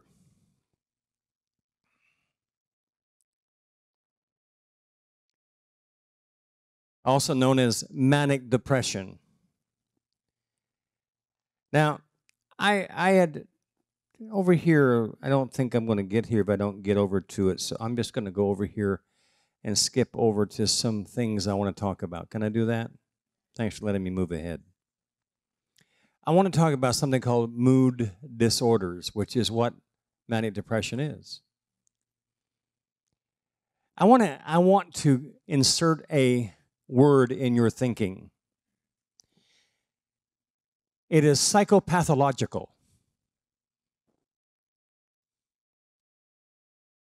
Psychopathological. Now, pathology, if you study pathology is the study of disease. That's what, that's what a pathologist does. When I was a pre med student, I was a, uh, a guest every weekend of a doctor in Louisville, Kentucky. I was, uh, I was a handpicked to be a, a doctor in America, handpicked. Had all the aptitude, had everything going for me.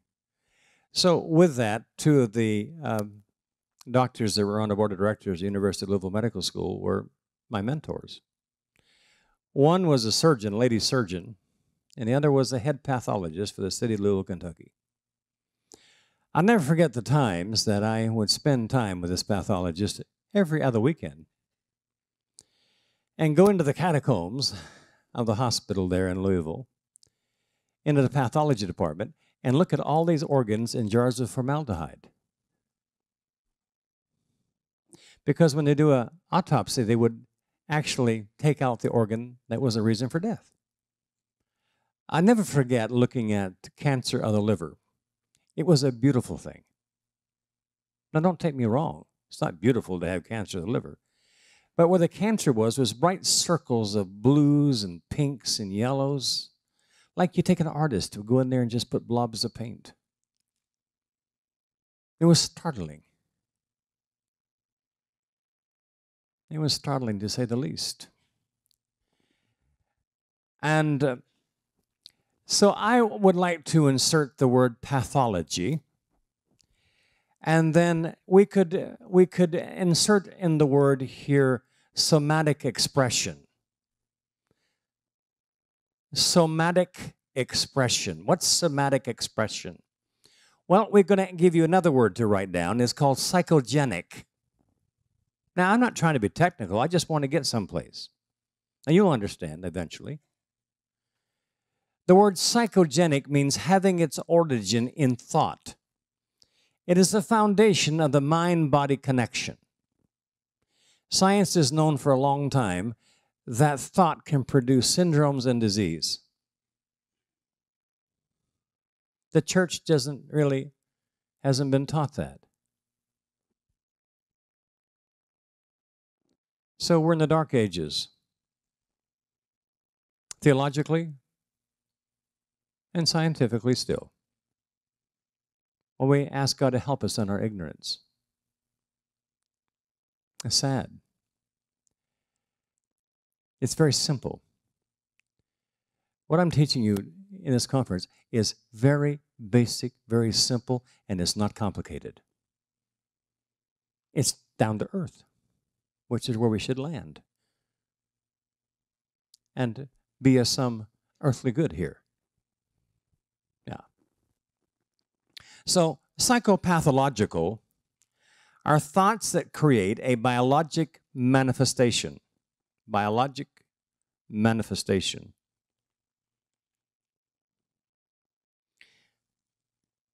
What are moods? Moods are sustained emotions. Now, they can be short term, or if you meditate on them, they can be longer and longer and longer.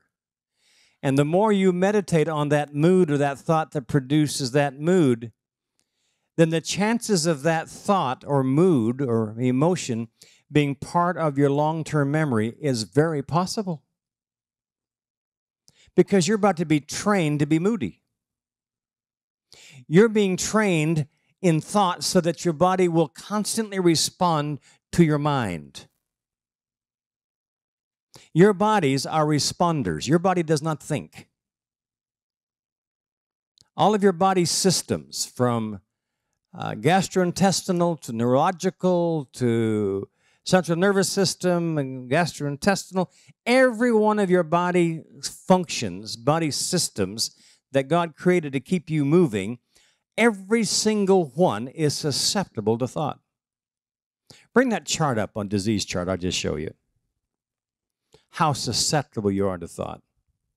Let's go to the general adaptation syndrome of fear, anxiety, and stress. Let me just show you just how one stressor can control your body and produce various. Now, this is, I didn't make this up. This is coming right out of general medicine. It's what's taught in med school. But when you get your doctor, he forgets what he learned.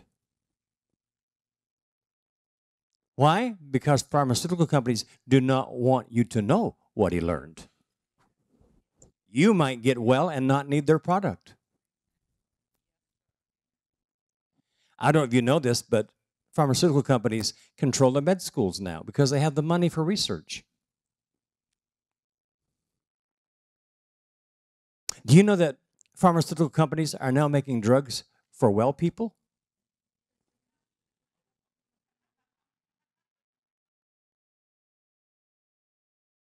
And the drug industry for your youth, years age three and up, is an incredible market for the pharmaceutical industry because the young generation coming up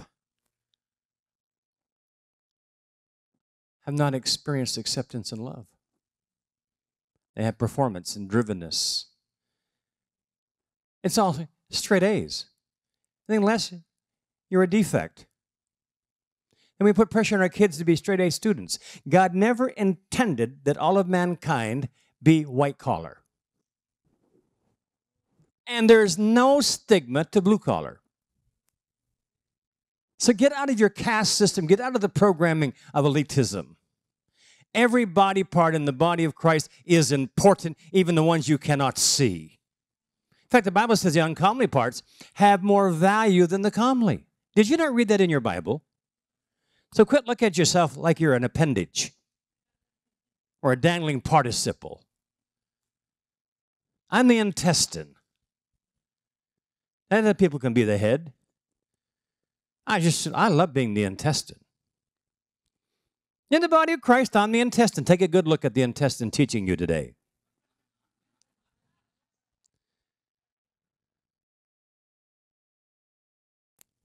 If anybody knows me over the years, and some of you do, all that I do in the body. Now I know I'm an elder. I know that I'm, you know, do things I do in the government. That's that's here.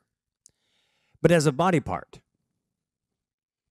all I do and have done since I got born again is help people process food and get rid of waste. You need a guy like me. Besides, I like being the intestine. I get to eat first and get relieved first. And if you didn't have an intestine that functioned, you're going to be goofy. Thank God for a functioning gastrointestinal system.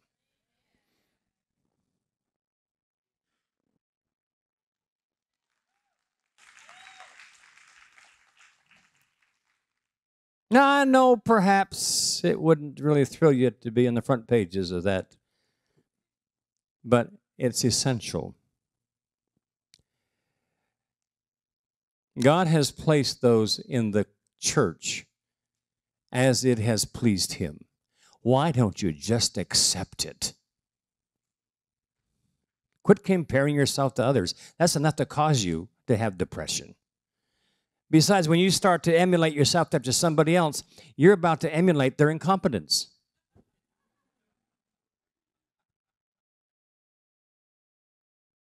There has to be something better for you than somebody else's incompetence that's sparkling. But we, but we look at others and compare ourselves to others, and actually, He's the one that created you, and He's the one that saved you, and I want to just relax in it. Just relax.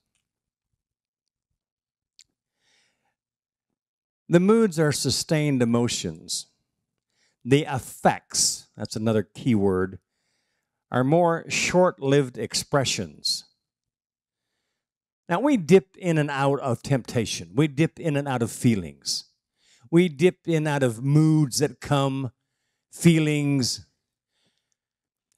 and even though that may have perhaps some latent ability to create biological responses, really it's not as dangerous as long term fixation.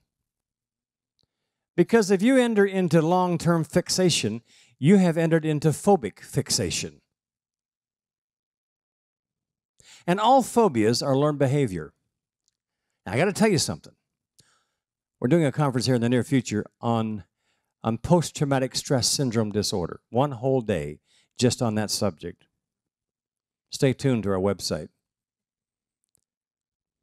You'll be surprised what's behind it. All phobias are learned behavior. Long term mood profiles are also learned behavior. So, don't you think if the things that make you phobic and that create depression are eventually because of learned behavior, don't you think it's possible to unlearn your behavior? That's why you, you embrace the laws of God so that laws of sin. Both laws are powerful. The Apostle Paul, born again, filled with the Holy Ghost, apostle, bluntly states that in his members he has two laws. We pretend we don't. Because if we ever admitted something in our belfry tower wasn't right, we'd be afraid somebody wouldn't like us. but it's already manifesting. Everything that's not of God in a human will manifest sometime in their lifetime. Usually at the wrong time to do the most damage. So, if that's the case, then everything that is of God should manifest at some point in our lifetime.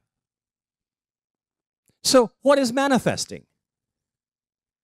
In us, what is manifesting out of us? Out of our thoughts, out of our speech, out of our actions. Which kingdom is manifesting?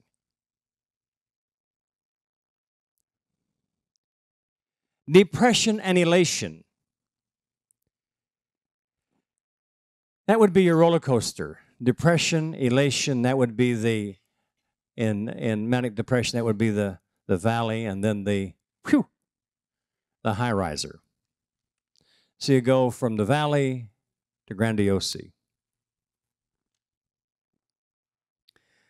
Now, sadness and joy can be part of the fabric of everyday life. But when maintained in extremes is when the problems begin. You, can, you, you know, if you stayed happy all the time, I don't know if I could stand you.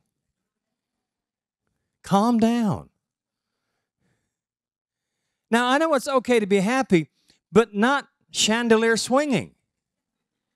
You make me nervous because that would be an extreme, wouldn't it? And most people that act like they're happy all the time to the extreme usually have an anxiety disorder. People that talk a lot are usually afraid of people. So, you got the extremes. Can we just find a mid range where you don't have to, to fall into the gully and hang on the clouds every day? Can we just find a place of peace? The word is very clear that perfect peace belongs to those whose minds are fixed or stayed on the Lord. What's who's the Lord? The word. Perfect peace. If you don't know the word of God, you're going to have no peace. You don't have any resources to maintain it. It'll be it'll be human, humanistic, it'll be psychic, it'll be emulation of others, it'll be fabricated. And we have enough fabricated personalities already. Please flush it. Just be you. Maybe you don't know who you are. That's sad. You know how many people I talk to don't know who they are? They're in this world of, I don't know, I know they got a driver's license and they got a name, but that's about all that goes. I don't know if you ever run across people with fabricated personalities. It's yucky. Yuck. Who needs it? Bipolar is alternating episodes of depression and elation. Then you have unipolar. Now, you, you don't hear unipolar that often, but it involves only depression, includes perhaps melancholy. Straight line. Now, here's something else. Bipolar usually begins before the age of 25. 18 to 25 is the mid range that people start developing bipolar, as an average, bipolar personalities. Interesting enough, it's the same age pattern that people who develop paranoid schizophrenia develop in that. Now, although they do see the genetic marker in the X chromosome for manic depression bipolar, they have not isolated the genetic marker as being inherited in paranoid schizophrenia.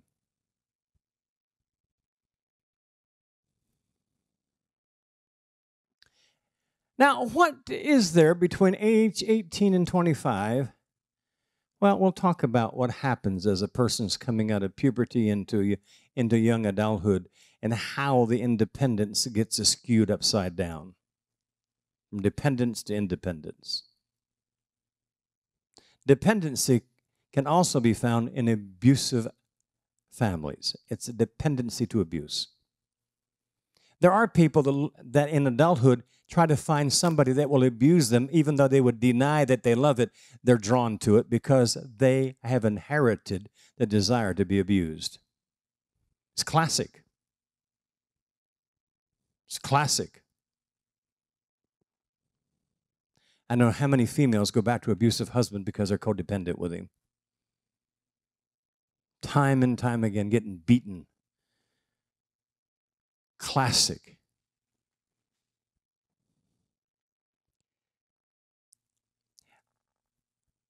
Hypomania may be triggered by the administration of antidepressants. What are you going to do with that one? Didn't have it until you took the drug. There can be a bipolar family history.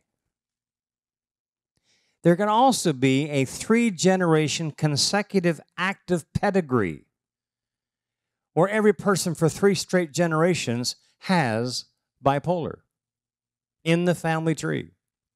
Again, it is inherited, recessive gene, X chromosome, recessive through the mother.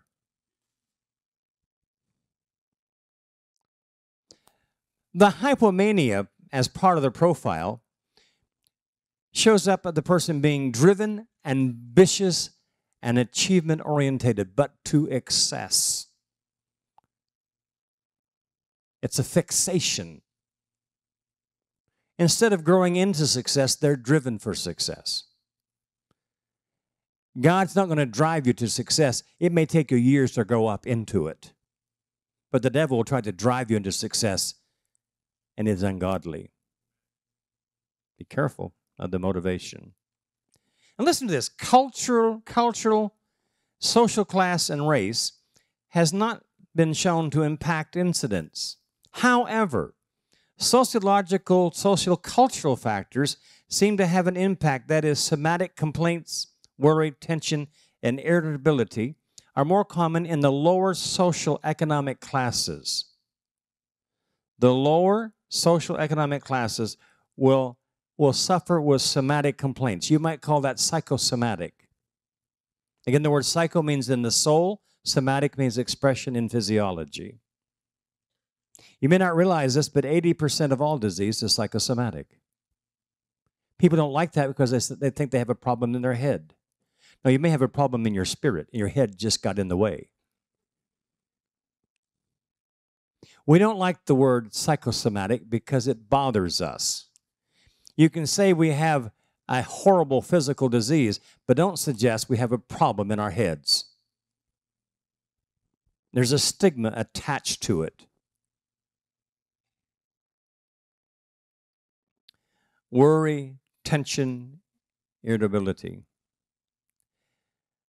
And listen to this guilty ruminations, that would be stewing in guilt, and self reproach are more characteristic of depression in the Anglo Saxon cultures. I would say many of the people here in this room are Anglo Saxon culture. That would be Germany, you know, Europe, Northern Europe, and so on. So then we would say the people who get depression in Anglo Saxon extractions and backgrounds are prone to guilt and self accusation and self reproach.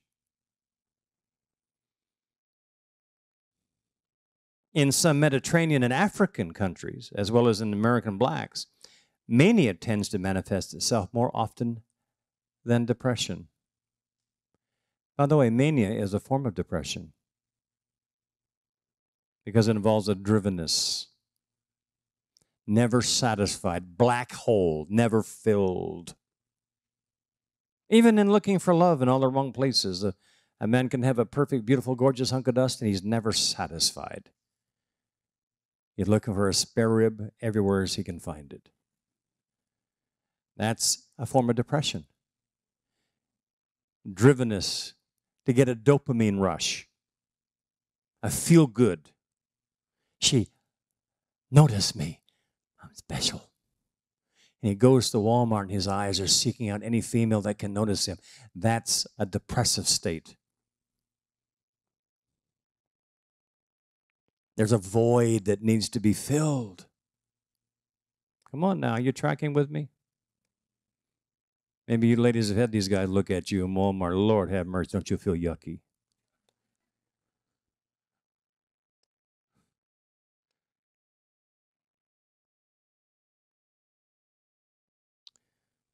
Psychiatric conditions at high risk for depression and anxiety disorders, schizophrenic disorders, an early phase of cortical dementias, antisocial personality, alcoholism, and other substance use disorders are found in these profiles.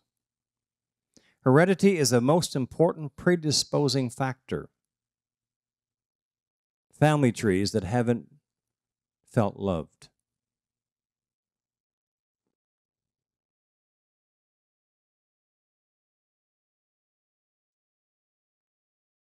Inability of a male to be a proper covering as a father and a husband. Number one door point for all depression. it keeps you from accepting God the Father because, He has that name Father. That's why you send around Jesus. It's all about Jesus. No, Jesus came to show us the Father. Get over it. But the church is so Jesus centric. They don't realize that Jesus himself said, I came to show you the Father.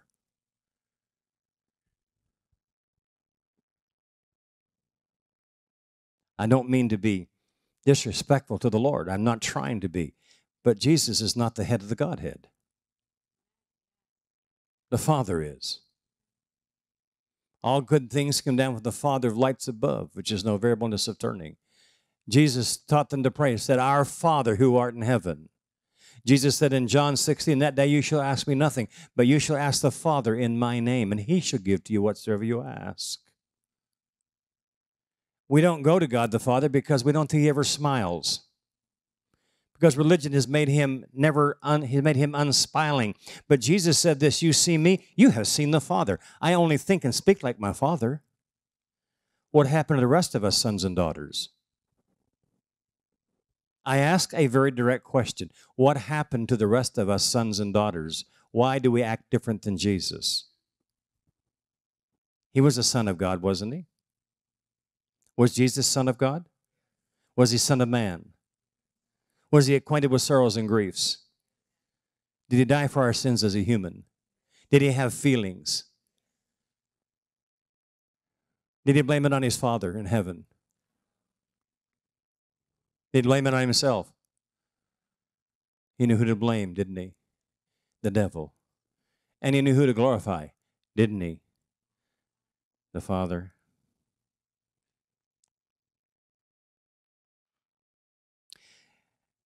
Unipolar, which is straight line depression without the, the mania, those forms are more likely to rise from a background of introversion and anxious neurotic tendencies, inversion, self centered, self introspective, self accusatory.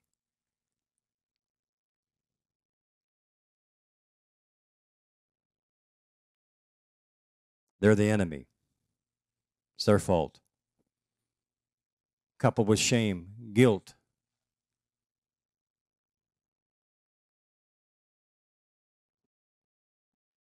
Self pity is the glue that holds it all together. If you have self pity and you struggle with self pity, you have no faith whatsoever. Because self pity always reflects the failure of something from the past. That is your present. Let me get through some of this stuff here. Treatments, uh, who cares? Actually, no, I just.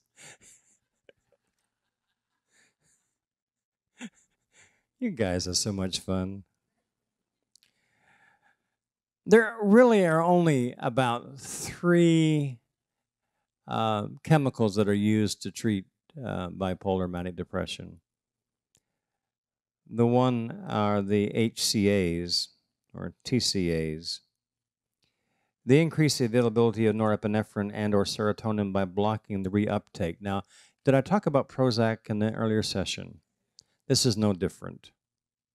people that have depression, manic depression, bipolar, always have a lowered level of serotonin.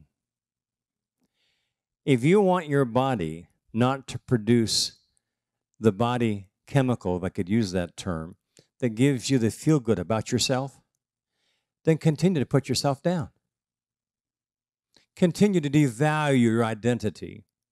Continue to listen to accusation about your value. And through the mind body connection, well, I was going to go over here a while ago. I didn't finish, did I? Let's I, hold that thought. I want. I don't know if you can see this because it's probably hard to see in the back, so I'll just tell you what it says. This is two charts from the uh, GAS, General Adaptation Syndrome of Fear, Anxiety, and Stress, and we'll show you. And I'm going to use part of this ch- chart to help you understand paranoid schizophrenia. And by the way, paranoid schizophrenia is not really a disease. Tell your shrink I said that. There is not one thing wrong with the human brain in paranoid schizophrenia. But it is what is causing the oversecretion of dopamine and norepinephrine. See, you can't read this, it's kind of hard to see, but norepinephrine, which is a fight or flight of paranoia. So, all that paranoid schizophrenia is, is a result of the over secretion of two neurotransmitters. If you could stop those transmitters from being oversecreted, norepinephrine and dopamine, guess what would happen? You'd no longer have schizophrenia, and the person's mind would be at peace. Can I give you a case history? I was teaching this many years ago in Minnesota about 1 John 4:18 because what I discovered in paranoid schizophrenia develops usually between 18 and 25, follows families, the people who get it, or in families that didn't know how to love each other.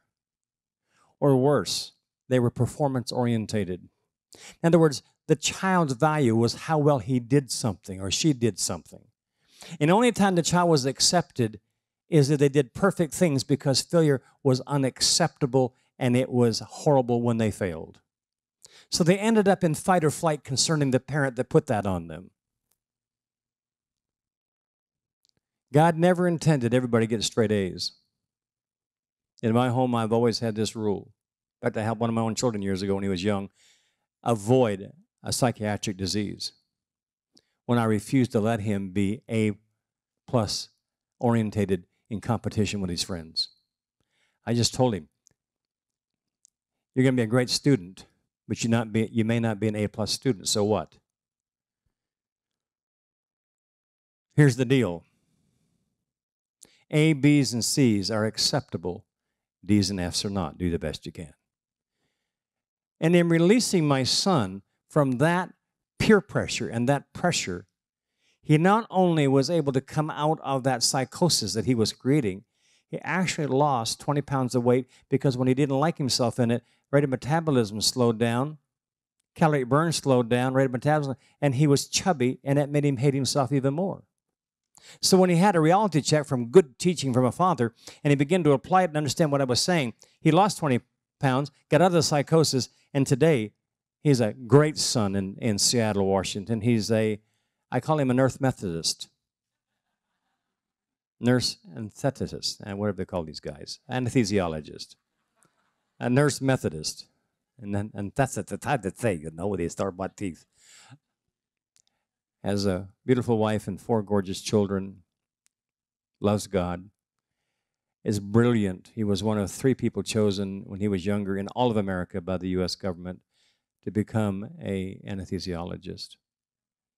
Uh, brilliant. Got his doctorate in Be in Health principles.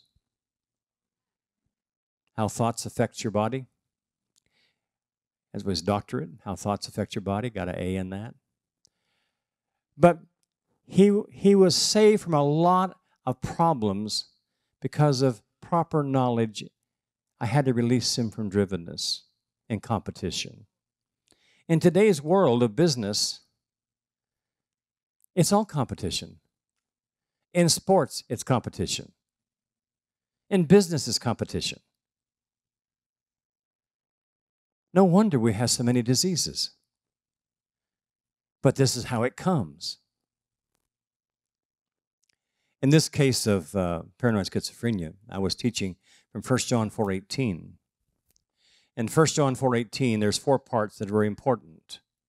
First of all, there is no fear in love. So if you don't feel loved, guess what is coming to you? Fear produces isolation, withdrawal. You hibernate, you withdraw. You don't want to be around people. They make you afraid, they make you sweat, make you nervous, make you jerky. You develop sweats and tremors, nervous stomach, because you're afraid somebody might reject you. So you withdraw because you don't feel loved, you don't feel accepted. So there is no fear, no fear in love. So if you don't feel love, fear comes. Fear has torment. There is the there is the mind issue right here. God has not given you the spirit of fear, but power, love, and a sound mind. If you have fear, you're not going to have any power of, of action. You're not going to feel loved, and you're not going to have a sound mind. That's pretty serious, isn't it? So it has torment. This torment is part of the profile of paranoid schizophrenia, which is I consider not just a, a phobic disorder, but a depression disorder because it involves withdrawal and isolation. Next part of this is that he that fears is not made perfect in love. What's that mean? If a person has this kind of fear, they're not able to give and receive love without fear themselves. How do you get how do you deal with it? Well, 1 John 4:18 has the antidote. Perfect love casts out fear. You want to help people that are struggling with their identity and have depressive episodes? Start loving them. I know they're hard to get along with. Who asked you to get along with people that are easy to get along with? Even the heathen can do that. Even the heathen get along with people that get along with them. And just, that's not proof of your spirituality. Well, I want to hang out with normal people. There aren't any.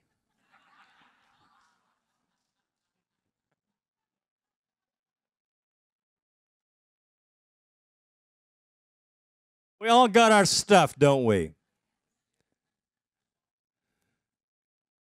Some are so obvious, the rest we're in denial about, but everybody knows it's there anyway.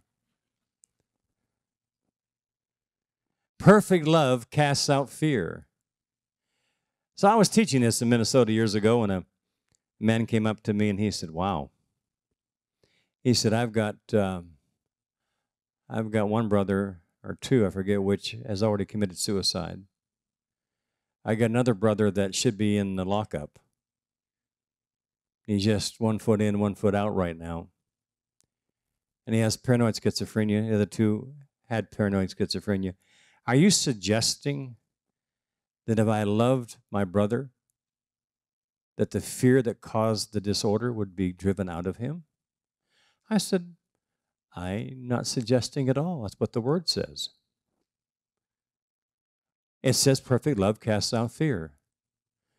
Well, I heard anything about him. I was in, uh, actually, I was in Garland, Texas doing a conference about a year and a half later. And this guy showed up a year and a half later with this incredible testimony. He drove all the way from Minnesota to Texas just to give me this testimony.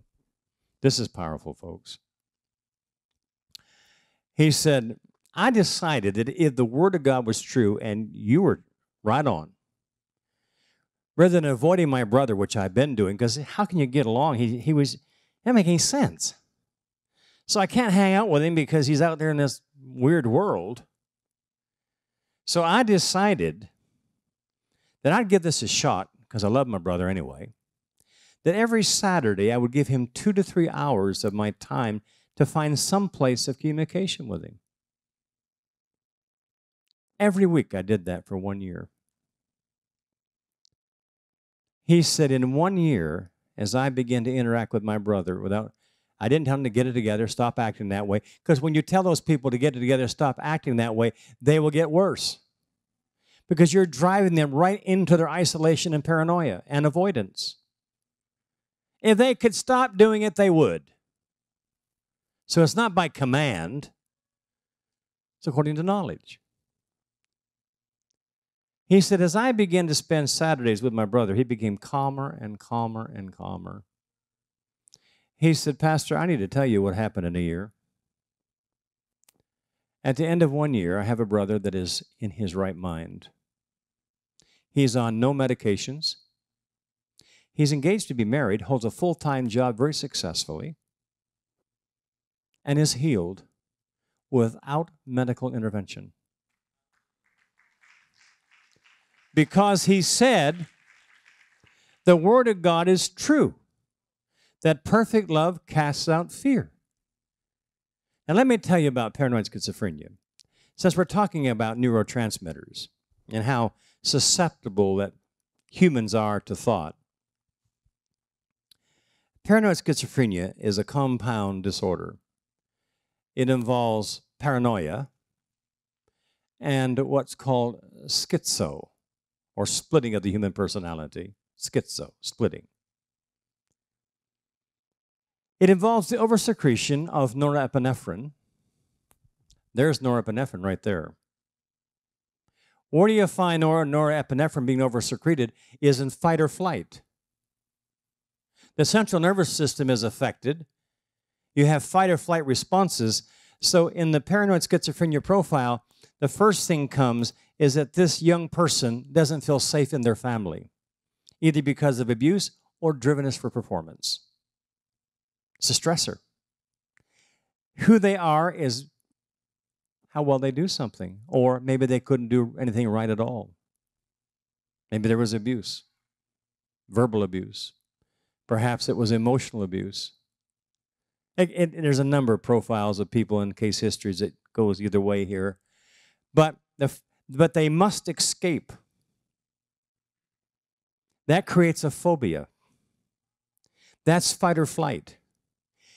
Biologically and chemically, in order to be sustained in that fight or flight, norepinephrine has to be released to biologically put them there. It's right here. And let's talk about dopamine. Dopamine is the pleasure neurotransmitter of the body. So, what they have to do, they have to disassociate to create a safe place that's where you're not. In order to stay in that elevated, sustained state of existence, then dopamine has to be released to give them the feelings of pleasure. They think you're nuts and they're sane. There's a lot of psychotics can come with that, and it can be very dangerous with suicide or other things.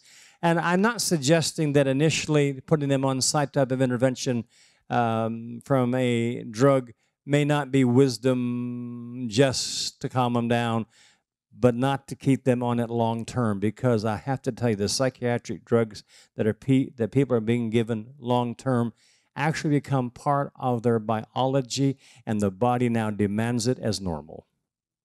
So to come off that, a lot of withdrawal because the body said, "What are you doing? It's I need this for me." So we have all this biochemistry fixation.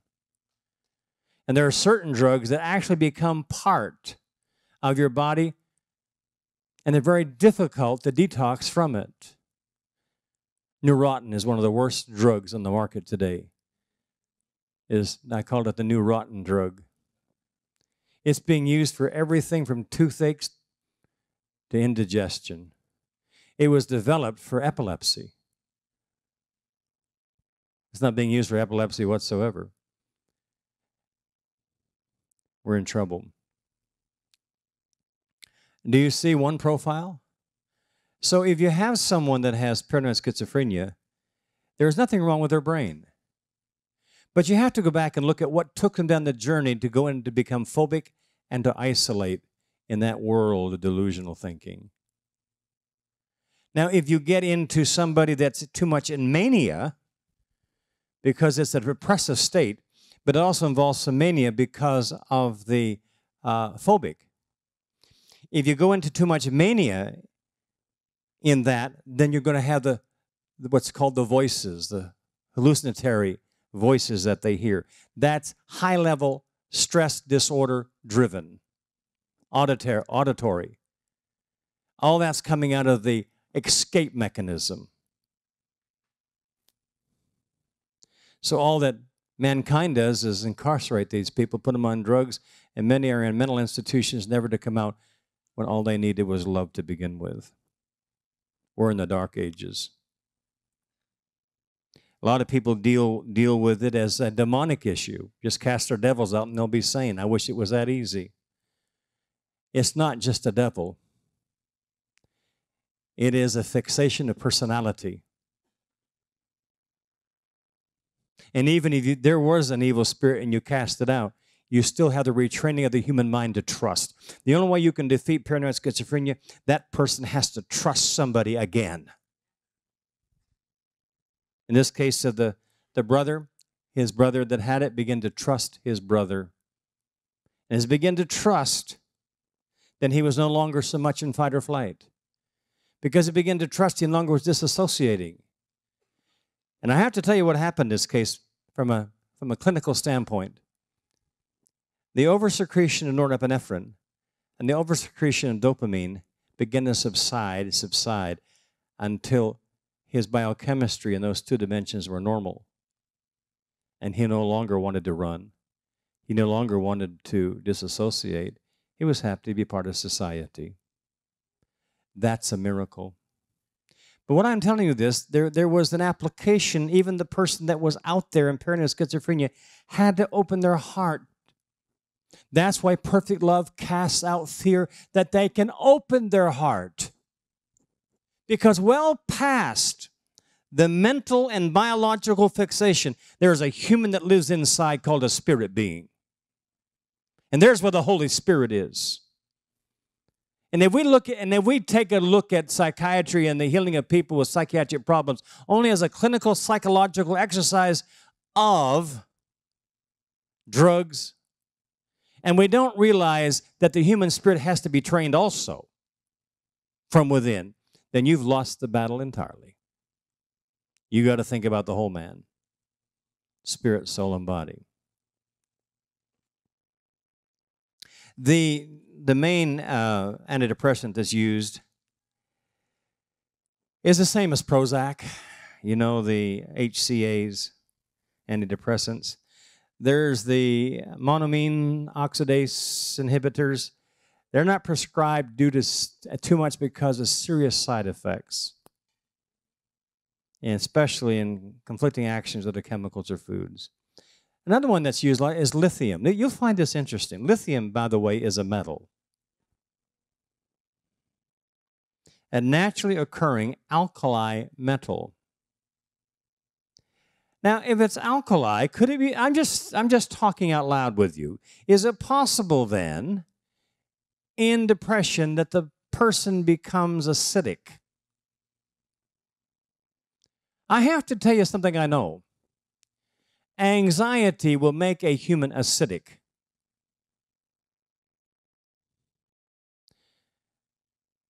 A person that has their peace with others and God and themselves will have a proper alkaline foundation of biochemistry. So if you want to be acidic, then stew in your stuff. Be anxious for everything. Be phobic. And you'll find yourself possibly being a candidate for this. And listen to this. I, I, I took this right out the research. How lithium works in stabilizing the unpredictable, often explosive mood swing and behavior of bipolar people is unknown. They have no idea how it works. Because it works They give it. Seems to calm them down. Well, I suppose that if we could if we could break the acidic part of a human biochemistry, you might calm down because you wouldn't be in fight or flight so much. That's just something to think about. Lithium has no effect on normal mood. Why? Because normal mood, you're not acidic. If you're normal in your moods and your personality, you're going to have a biochemistry balance where your pH value is going to be pretty good. You're not going to be too alkaline, you're not going to be too acidic. You're going to have a biochemistry balance. Isn't that what God intended? So I, I read this with kind of some interest how this would work. It has been observed that levels of serotonin are depressed. The susceptibility of norepinephrine, serotonin, and dopamine to thought, and how thoughts, emotions, and feelings can cause these neurotransmitters to be suppressed and or, or increase in volume. Thus, under secretion of these neurotransmitters, under secretion of these neurotransmitters can produce a wide range of physiologic responses as well as the oversecretion of these neurotransmitters can produce another range of responses such as paranoid schizophrenia. You got all that, didn't you? All right. Now, I, I, I was going to skip through some of this that I don't think I really want to get into because it's just more about, you know, uh, there's a lot of stuff that I had printed out here on the um, action of uh, norepinephrine and uh, serotonin and uh, dopamine, and I, I just think it's just too technical and really not worth the time. I think you get the picture anyway, don't you? Hopefully you do. Um, there is one thing, since bipolar is considered to be inherited, I want to talk about inherited uh, disorders and diseases. And let me see here what else I wanted to look at. Yeah, I want to go back over here too. I want to spend a little time here on inherited diseases. The word is familial. Uh, did I finish this up here? I've been kind of sidetracking myself. Um, go over to the next chart over here, the the resistance stage. I wanted to show them something. If you go from go to the B chart, now that's not one. Well, you can see how that stress can affect all of your. Look at here, your liver, your thyroid. Here you have hypothyroidism as a result of fear and anxiety. Go back to the disease chart, page two. And on the disease chart, page two, central nervous system. Go back to page one. Let me show you how just simple fear and anxiety can affect your physiology. Now, fear is not biology. Fear involves thought and feelings and emotions. Would you agree with that? But fear is not psychological first. Fear is a spirit that answers to Satan. We know that from one scripture, God has not given us the spirit of fear, but power, love, and a sound mind. Fear. You can find the book of Job a, uh, a spirit of fear manifest, and the guys here the guy's arm went straight up in the air, and we can get in all kinds of stories about that type of manifestation. But look, the cardiovascular system is affected the muscles, the connective tissue, pulmonary system, immune system. Go to the next page, please. Gastrointestinal, and all the way down to central nervous system. And right here you have depression. Can also be a byproduct of unresolved fear. If you don't feel people love you, and you have this phobia that people don't love you, that's an ingredient for depression. But it is rooted in rejection, perceived or real, and isolation and withdrawal, which requires fear to allow you to do that. So here you have here you have the the depression. You can take that off there now. Now, disease is broken down in two ways. True biological disease involving organic damage. For example, Um, Let me just see if I can go down through a couple here to give you an example of what would the difference. Um, hypothyroidism is a syndrome. Nothing wrong with your thyroid. Hyperthyroidism is a true disease in which the immune system attacks your thyroid, destroying the tissue, for example. Um, that's what's another one here. Um, diabetes 1 is a true disease in which the immune system begins to attack the body. Diabetes 2 is an anxiety disorder. There is nothing wrong with the um, there's nothing wrong with the body at all. So you can spin in out of these different syndromes. A disease, true disease is when the body's been impacted, but when the body is just not functioning, homeostasis is interfered with, biological function is interfered with, that should be known as a syndrome. You spell the word syndrome S I N D R O M E. Well, you know, I say that with tongue in cheek, but behind a syndrome is a thought that's not of God. So I, I say that with tongue in cheek, but it's still the truth. A thought that triggers the body not to serve the person properly, but go into disorder of function or dis-ease of function, creating something that makes the body feel like it's out of whack.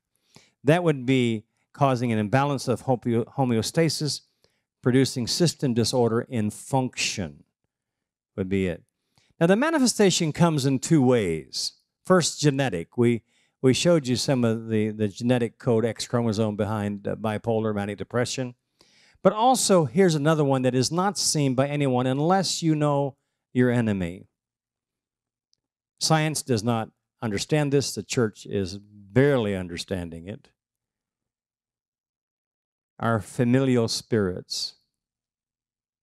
What is the familial spirit? Not a familiar spirit. That would be one that would be operating in divination, such as we found in, you know, the Witch of Endor was uh, had a familiar spirit. These are familial. What's a familial spirit? A spirit, actually an evil spirit by its fallen nature, that tracks specific families. That tracks specific families. If you go over to, mm, I think it's, uh, hmm, I think it's Exodus chapter 20, verse 5 and 6, says the iniquities, it doesn't say sins, folks. It says the iniquities of the fathers shall be visited to the third and fourth generation of them that hate me. Verse 6 says, But to them that love me and keep my commandments, blessings to thousands. In context is thousands of generations. We haven't even been here that long from Adam. Thousands. Listen carefully what it says. The iniquities of the fathers shall be visited. Visited. That doesn't mean automatically passed down it means temptation will come members of a family tree will yield to that thought, embrace it, and because of that, the enemy can produce the same syndromes and diseases generation to generation because they embraced that way of thinking that was not of God. So actually, the enemy is training a family how to become diseased. Are you tracking with me? And we're so ignorant of this process. But it's so easily understood in Scripture and also in science. Familial spirits that influence thought to produce aberrations of biological function is called the mind body connection. In this case, we're calling it the spirit soul body connection because that involves the third part of you. The third part of you. That's Deuteronomy 5, 9 through 10, by the way, is what I quoted. Deuteronomy 5, 9 through 10. A genetic defect. I just had some notes I wrote down myself to help make sure I covered the territory, but I may just read it to you. A genetic defect may lie latent, like it was sleeping. until a life circumstance, especially involving conflict with others, real or perceived. Now, a lot of people believe somebody doesn't like them not because they said or did anything, they just have a feeling that they don't like them. It's not even real. It's just perceived. But this thought will trigger the genetic defect to manifest and produce a biologic change as a result in the disease or syndrome. Let me talk about one neuropathy of the spine. This is kind of an interesting story of neuropathy of the spine called Marie Charcot tooth disease. Marie Charcot tooth disease is named after the three doctors that discovered this syndrome Dr. Marie, Dr. Charcot, and Dr. Tooth. I'm serious. I mean, that's all that is. And they discovered something that would cause what's called the neuropathy of the spine, that would produce a dying off of nerve endings at a certain part of the spine over motor control. And the result is a stiffening of the, of the muscle here in the back part of the leg and also causing a curvature of the instep or a bowing so it produces a limp. That's Marie Charcot tooth disease. Actually, it's a syndrome because there's nothing wrong really here. It's what caused the nerve endings to die. Now, we deal with peripheral neuropathy, which is where the nerve endings die in the extremities and have, there's no feeling. Anytime you have nerve endings that begin to die, the person that develops these profiles of disease has one common spiritual problem they don't like themselves. Self accusation, self hatred. If you want your body to start to disintegrate, continue to put it down and put yourself down. You must love yourself. I don't mean stuck on yourself. You must accept yourself. If you don't accept yourself, your body will begin to decay.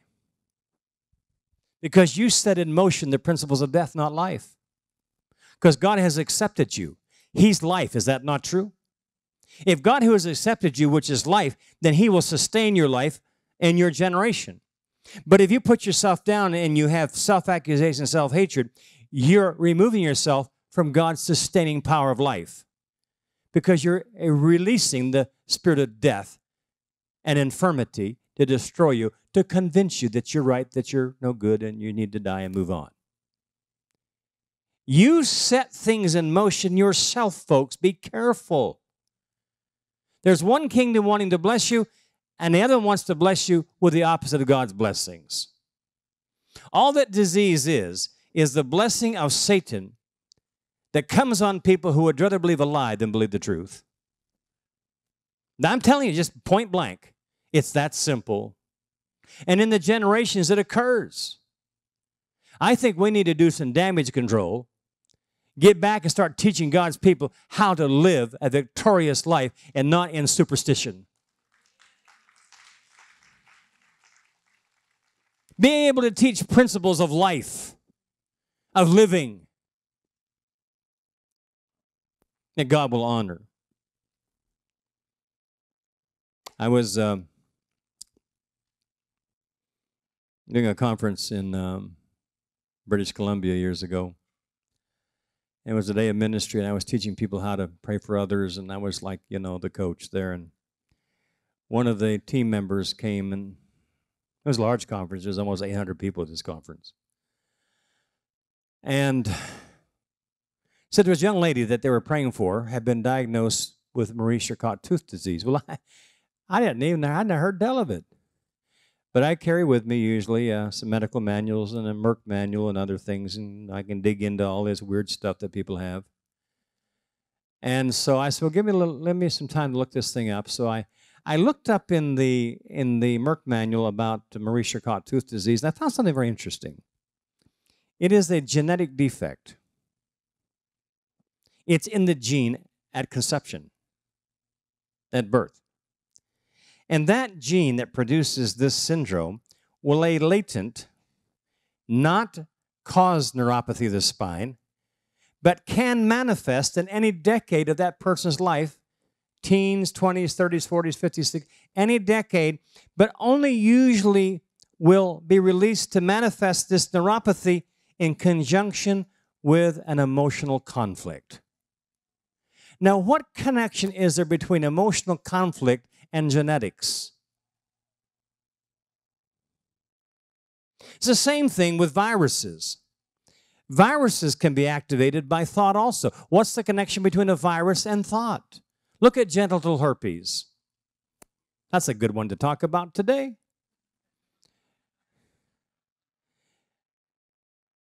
The herpes virus can lay latent inside the person that has it until that person goes into a fear conflict. Maybe it's a relationship breakdown or fear, and all of a sudden they have a herpes outbreak. You know what causes a herpes outbreak?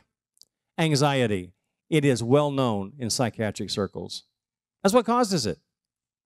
Now, what connection is there between a thought and a virus? What connection is there between a thought and a gene? Well, when I read this, I wondered, you know, I said, well, what kind of conflict did she have? So I said, God, this is a new one to me. Help me think. So when they came back to see if I knew anything, I said, I don't know. I want, I want to, how old is she? Well, she's about 35. I said, go ask her. And I had this incredible thought. Go ask her, did she fall in love with a young man? And he dumped her? And now she has grief but now she blames herself because she thinks it's something in her that caused him not to like her. And now she has self hatred, which is what would cause neuropathy. Go ask her. Well, they came back and said, Boy, you nailed that one. When we asked her, she just began to cry. Yes, she fell in love with the young man and he dumped her. And within a year, she developed a syndrome. I said, You know what you have to do, don't you? You have to go back and help her forgive that young man. She's not guilty. In fact, she was saved from a real jerk. That was God's mercy. And you need to tell her that. God loved you so much. The devil got stirred up in this young man. He didn't appreciate you as a gift. And God saved you from a very dangerous, unhappy relationship. And they ministered to her. Is it possible to change genetic code defect through prayer? Well, it depends if you believe in healing at all. You know, in, in the gifts of the Holy Spirit, there are two. One is gift of healing, one is gift of miracles. I suppose if we were to pray for bipolar and we were to deal with some of this stuff, it would be essential to change the genetic code defect to section 28 of that X chromosome. The gift of healing is that as a work of the Holy Spirit, What's causing the malady is stopped and the body will heal. That's the gift of healing. Gift of miracles is quite different. There are body parts that don't heal. That's why you have organ transplants. That's why you have very little evidence of brain cell regeneration or nerve regeneration. So, in the gift of miracles, it's in your Bible, by the way, and it says it's for the believers of the church age are supposed to be, then what is what is how do you operate in the gift of miracles? In the gift of miracles, you call those things that are not as if they are. In Jesus' name, expecting the Father by His Spirit to honor your words, and that body part that does not heal be reformed out of nothing as if it were never damaged.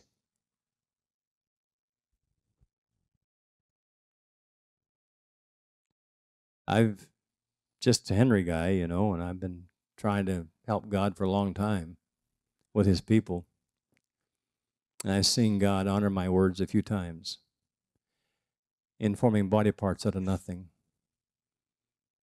Arms grow that needed to grow, body parts form. I've seen stroke victims go from here to here at the snap of a finger when God restored the brain cells over motor control that produced the stroke.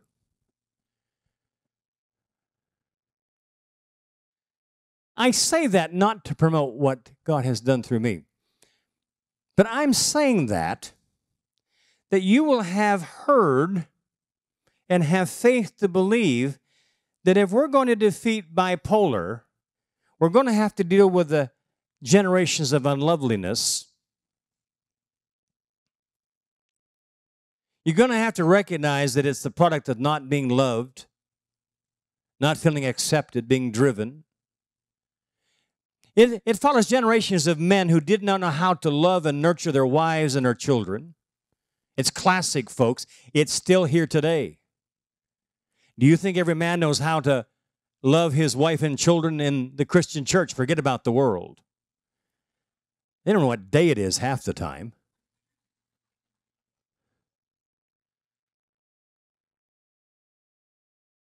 Come on, guys. Uh, thanks for coming to the conference. I'm one of you. I wasn't always a good father, a good husband either. So I don't have any bags of stone to cast anything here. Come on. We're all a bunch of fellers in a ship here. But we can defeat generational iniquity. We can defeat gener- generationally inherited genetic disorders.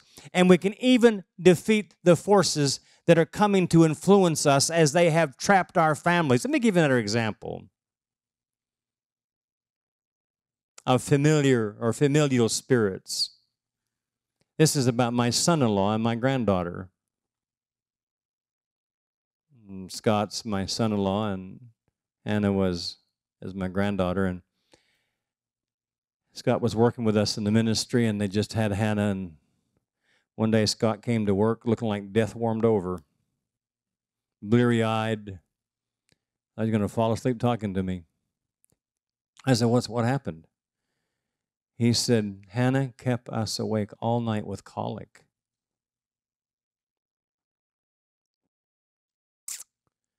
Oh, colic. Piece of cake. I said, She inherited your insecurity and fear. Because colic is a result of a spirit of fear that causes a twisting. Actually, it's a release of a signal in the central nervous system of a baby who doesn't even know how to think yet. But that spirit's there working that central nervous system of inherited fear and insecurities that's causing that intestine to twist, producing the pain of colic. I said, what you need to do is go home and command that spirit of insecurity and fear that, you, that was in you, that your daughter inherited, and commanded to go in Jesus' name. Speak peace and freedom to your daughter, and go to bed and go to sleep. He said, You make that sound simple. I said, Why complicated? The next day, Scott came to work smiling. He said, Dad, you won't believe this. No, he said, You'll believe it. We we did. It was so bad they put Hannah in a clothes dryer basket on the wash on the dryer, turned it on, hoping the shaking would put the child to sleep. I said, "Man, you were serious? You did that?" Well, I'm dead. We were desperate. Then some misguided parents, when a child has colic, will pick the child up and shake it, screaming to stop screaming. It doesn't even understand English yet. Now you're a monster. You think the child had fear? Now it's got bunches. That's absolute abuse. Anyway, back to my story. The next day he came to work. Right, Scott? You're right there. And I said, Well, you're looking happy. He said, Dad, we did what you said. Put Hannah to bed. We went to bed and woke up the next morning and slept all night. Did she ever have colic again? How many children do you have now? Well, you had a new one.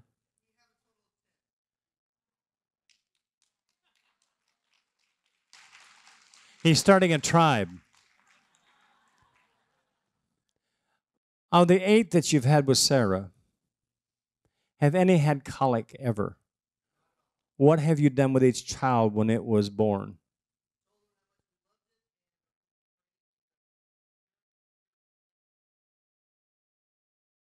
And commanded to go.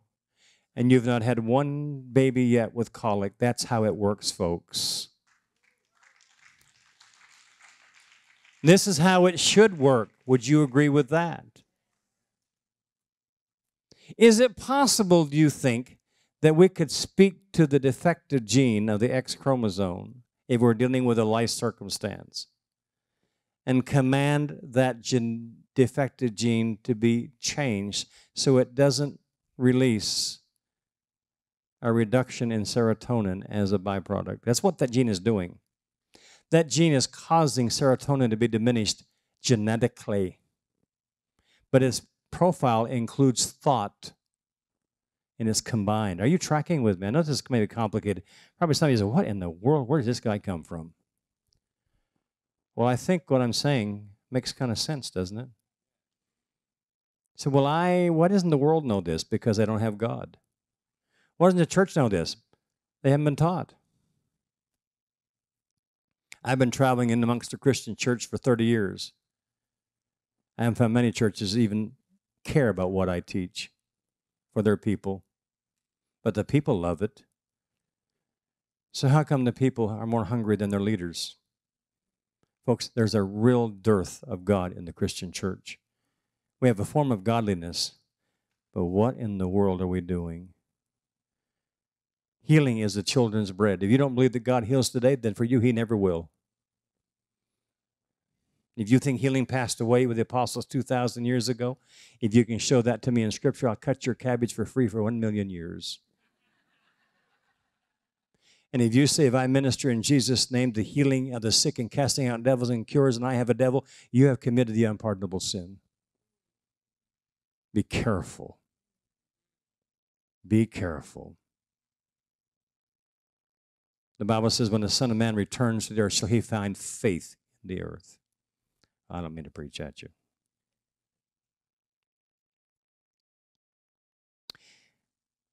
The home and family must be a safe place of peace in order to possibly prevent these disorders from manifesting. It seems from clinical observation that reduced levels of serotonin are found in bipolar cases.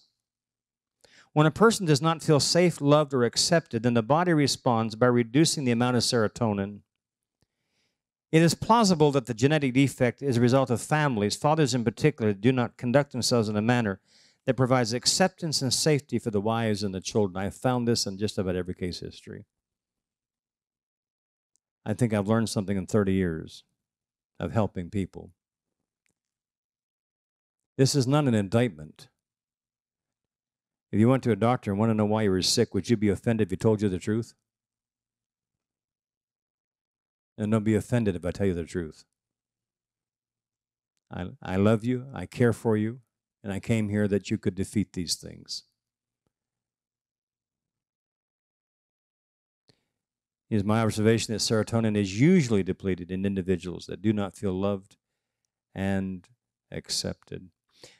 One of the things that in dealing with this and is is the um, Israelites that came out of captivity in the decree of Cyrus to go back to uh, Jerusalem and Israel and rebuild the temple in the days of Nehemiah and Ezra.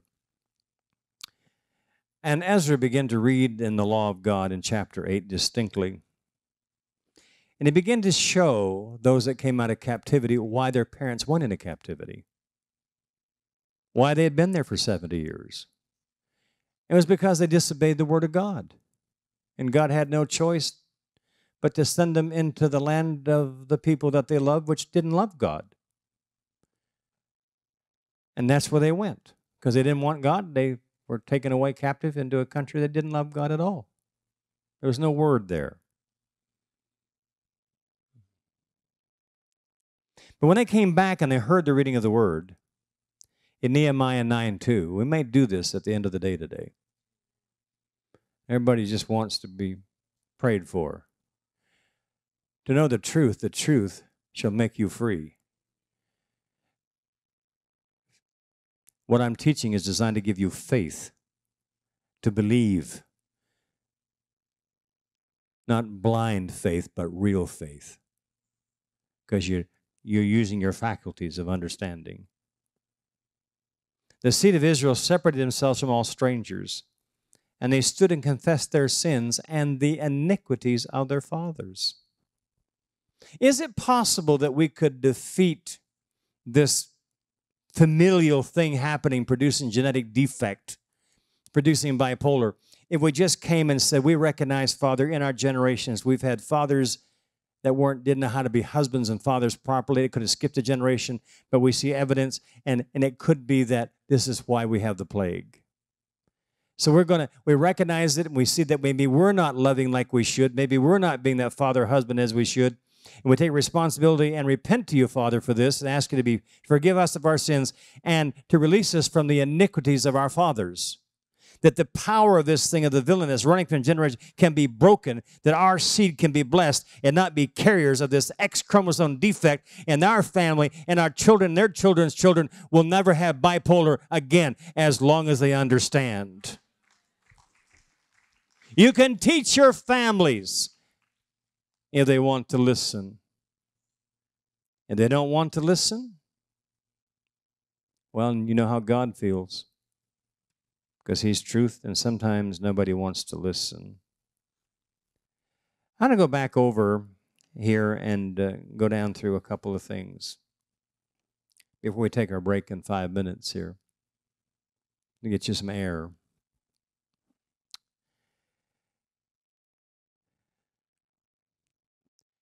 Depression, first of all, has a spiritual foundation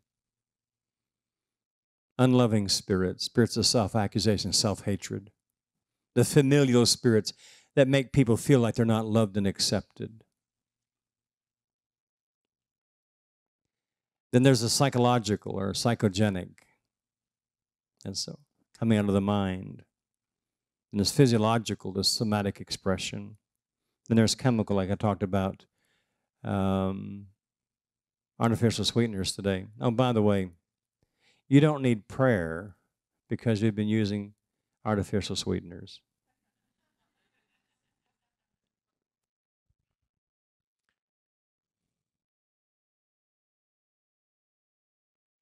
What I would suggest you do God created your body to detox unless you have fear.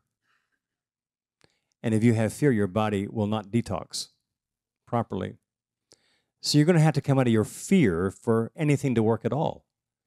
Because whatsoever is not of faith is sin. I just quoted you a scripture. So if you'd like to consider some alternatives to um, sweeten things other than remodified pesticides or the other chemicals that are so dangerous and then make the change. There's a lot of good products out there. We use them in our home. And uh, they're easy to use, and they're not invasive, and um, you can even cook with them. Uh, and uh, that's what you do. Then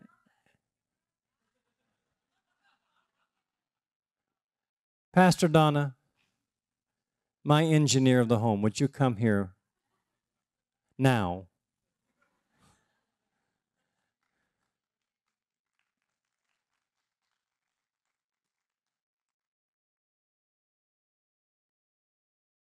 Come on, gorgeous.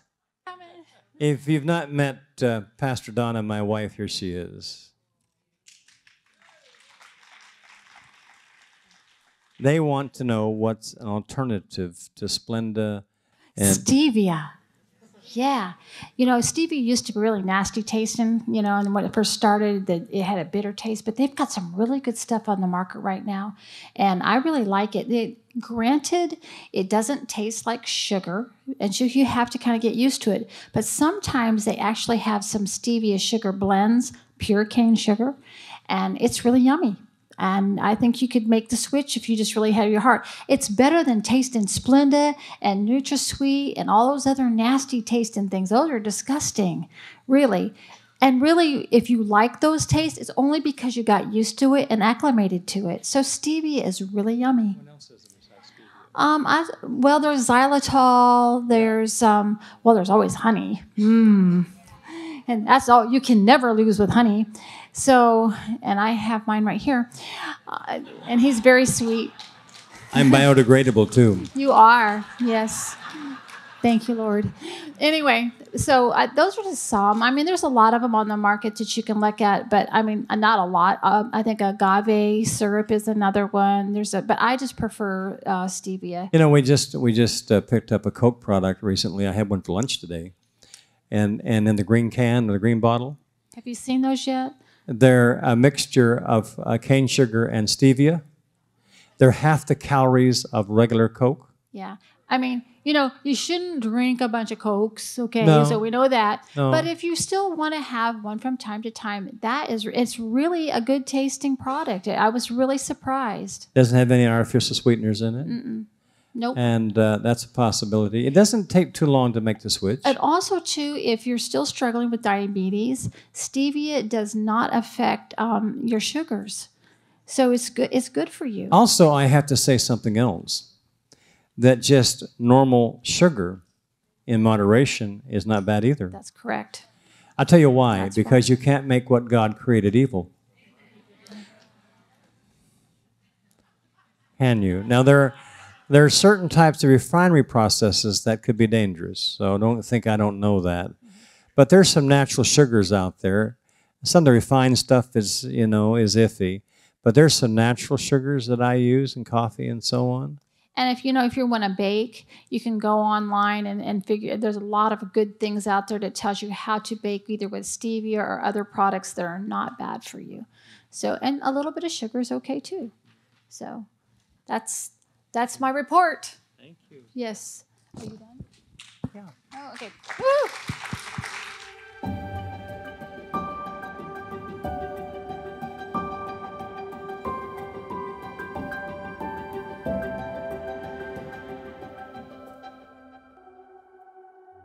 Hey, everybody, it's Pastor Scott again. Depression keeps us focused on the negativity all around us that we cannot see the good when it comes. It robs us of our joy, steals us of our blessings. But we have good news for you. God has made a way of escape from the bondage to hopelessness, oppression, and heaviness. Now, maybe you're taking massive amount of notes and are wondering, can I take all of this information in? Or maybe you're thinking, I have someone I love who really needs to hear this. Well, if that's you, I have some great news for you. The complete teaching you are watching right now is available in book format. This teaching, along with all of the Be in Health resources, are 20% off until midnight Sunday. Earlier, you may have seen the video highlighting our For My Life retreat here in Thomaston, Georgia. It really is an amazing week and completely life changing. But we understand that not everyone can make it here to Georgia, and that is why we have created the For My Life online. If you cannot make it in person to come see us, this is the next best option. During For My Life, you will learn the biblical principles and tools that will help you get free and stay free. We have thousands of testimonies of healing from all manner of disease as a result of the biblical information that is presented and the Holy Spirit working with everyone involved. For My Life takes one week to complete in person, but online we can give you up to three months to complete the course. This weekend only, we want to offer For My Life Online to you for $100 off. Just click the link below to register. And with that, we'll see you in a couple hours for the next session.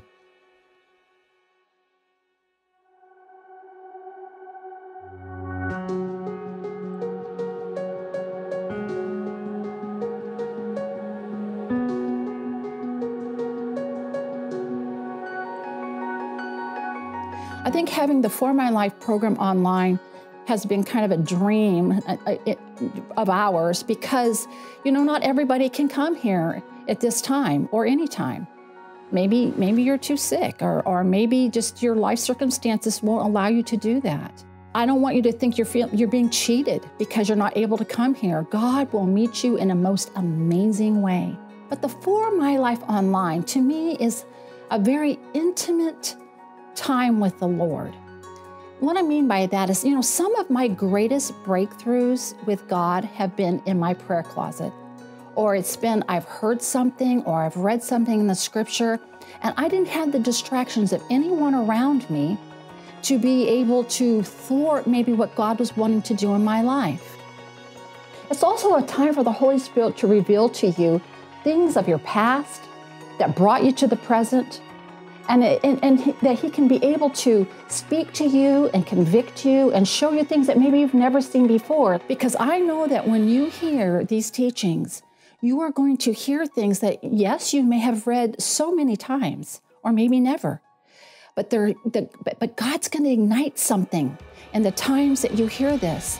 And you are going to be able to just totally surrender to Him. Vulnerability and also humility. Also, too, because you're reflecting on the past that brought you to the present, we also give you hope for the future. The thing is, is that before God, He begins to ignite things in that be still and know that I am God moment, where He shows you, oh my goodness, I have tools to overcome forever and ever. For as long as I'm here on this earth, I can overcome. So I really hope that you consider taking the For My Life online, not for us, but for you.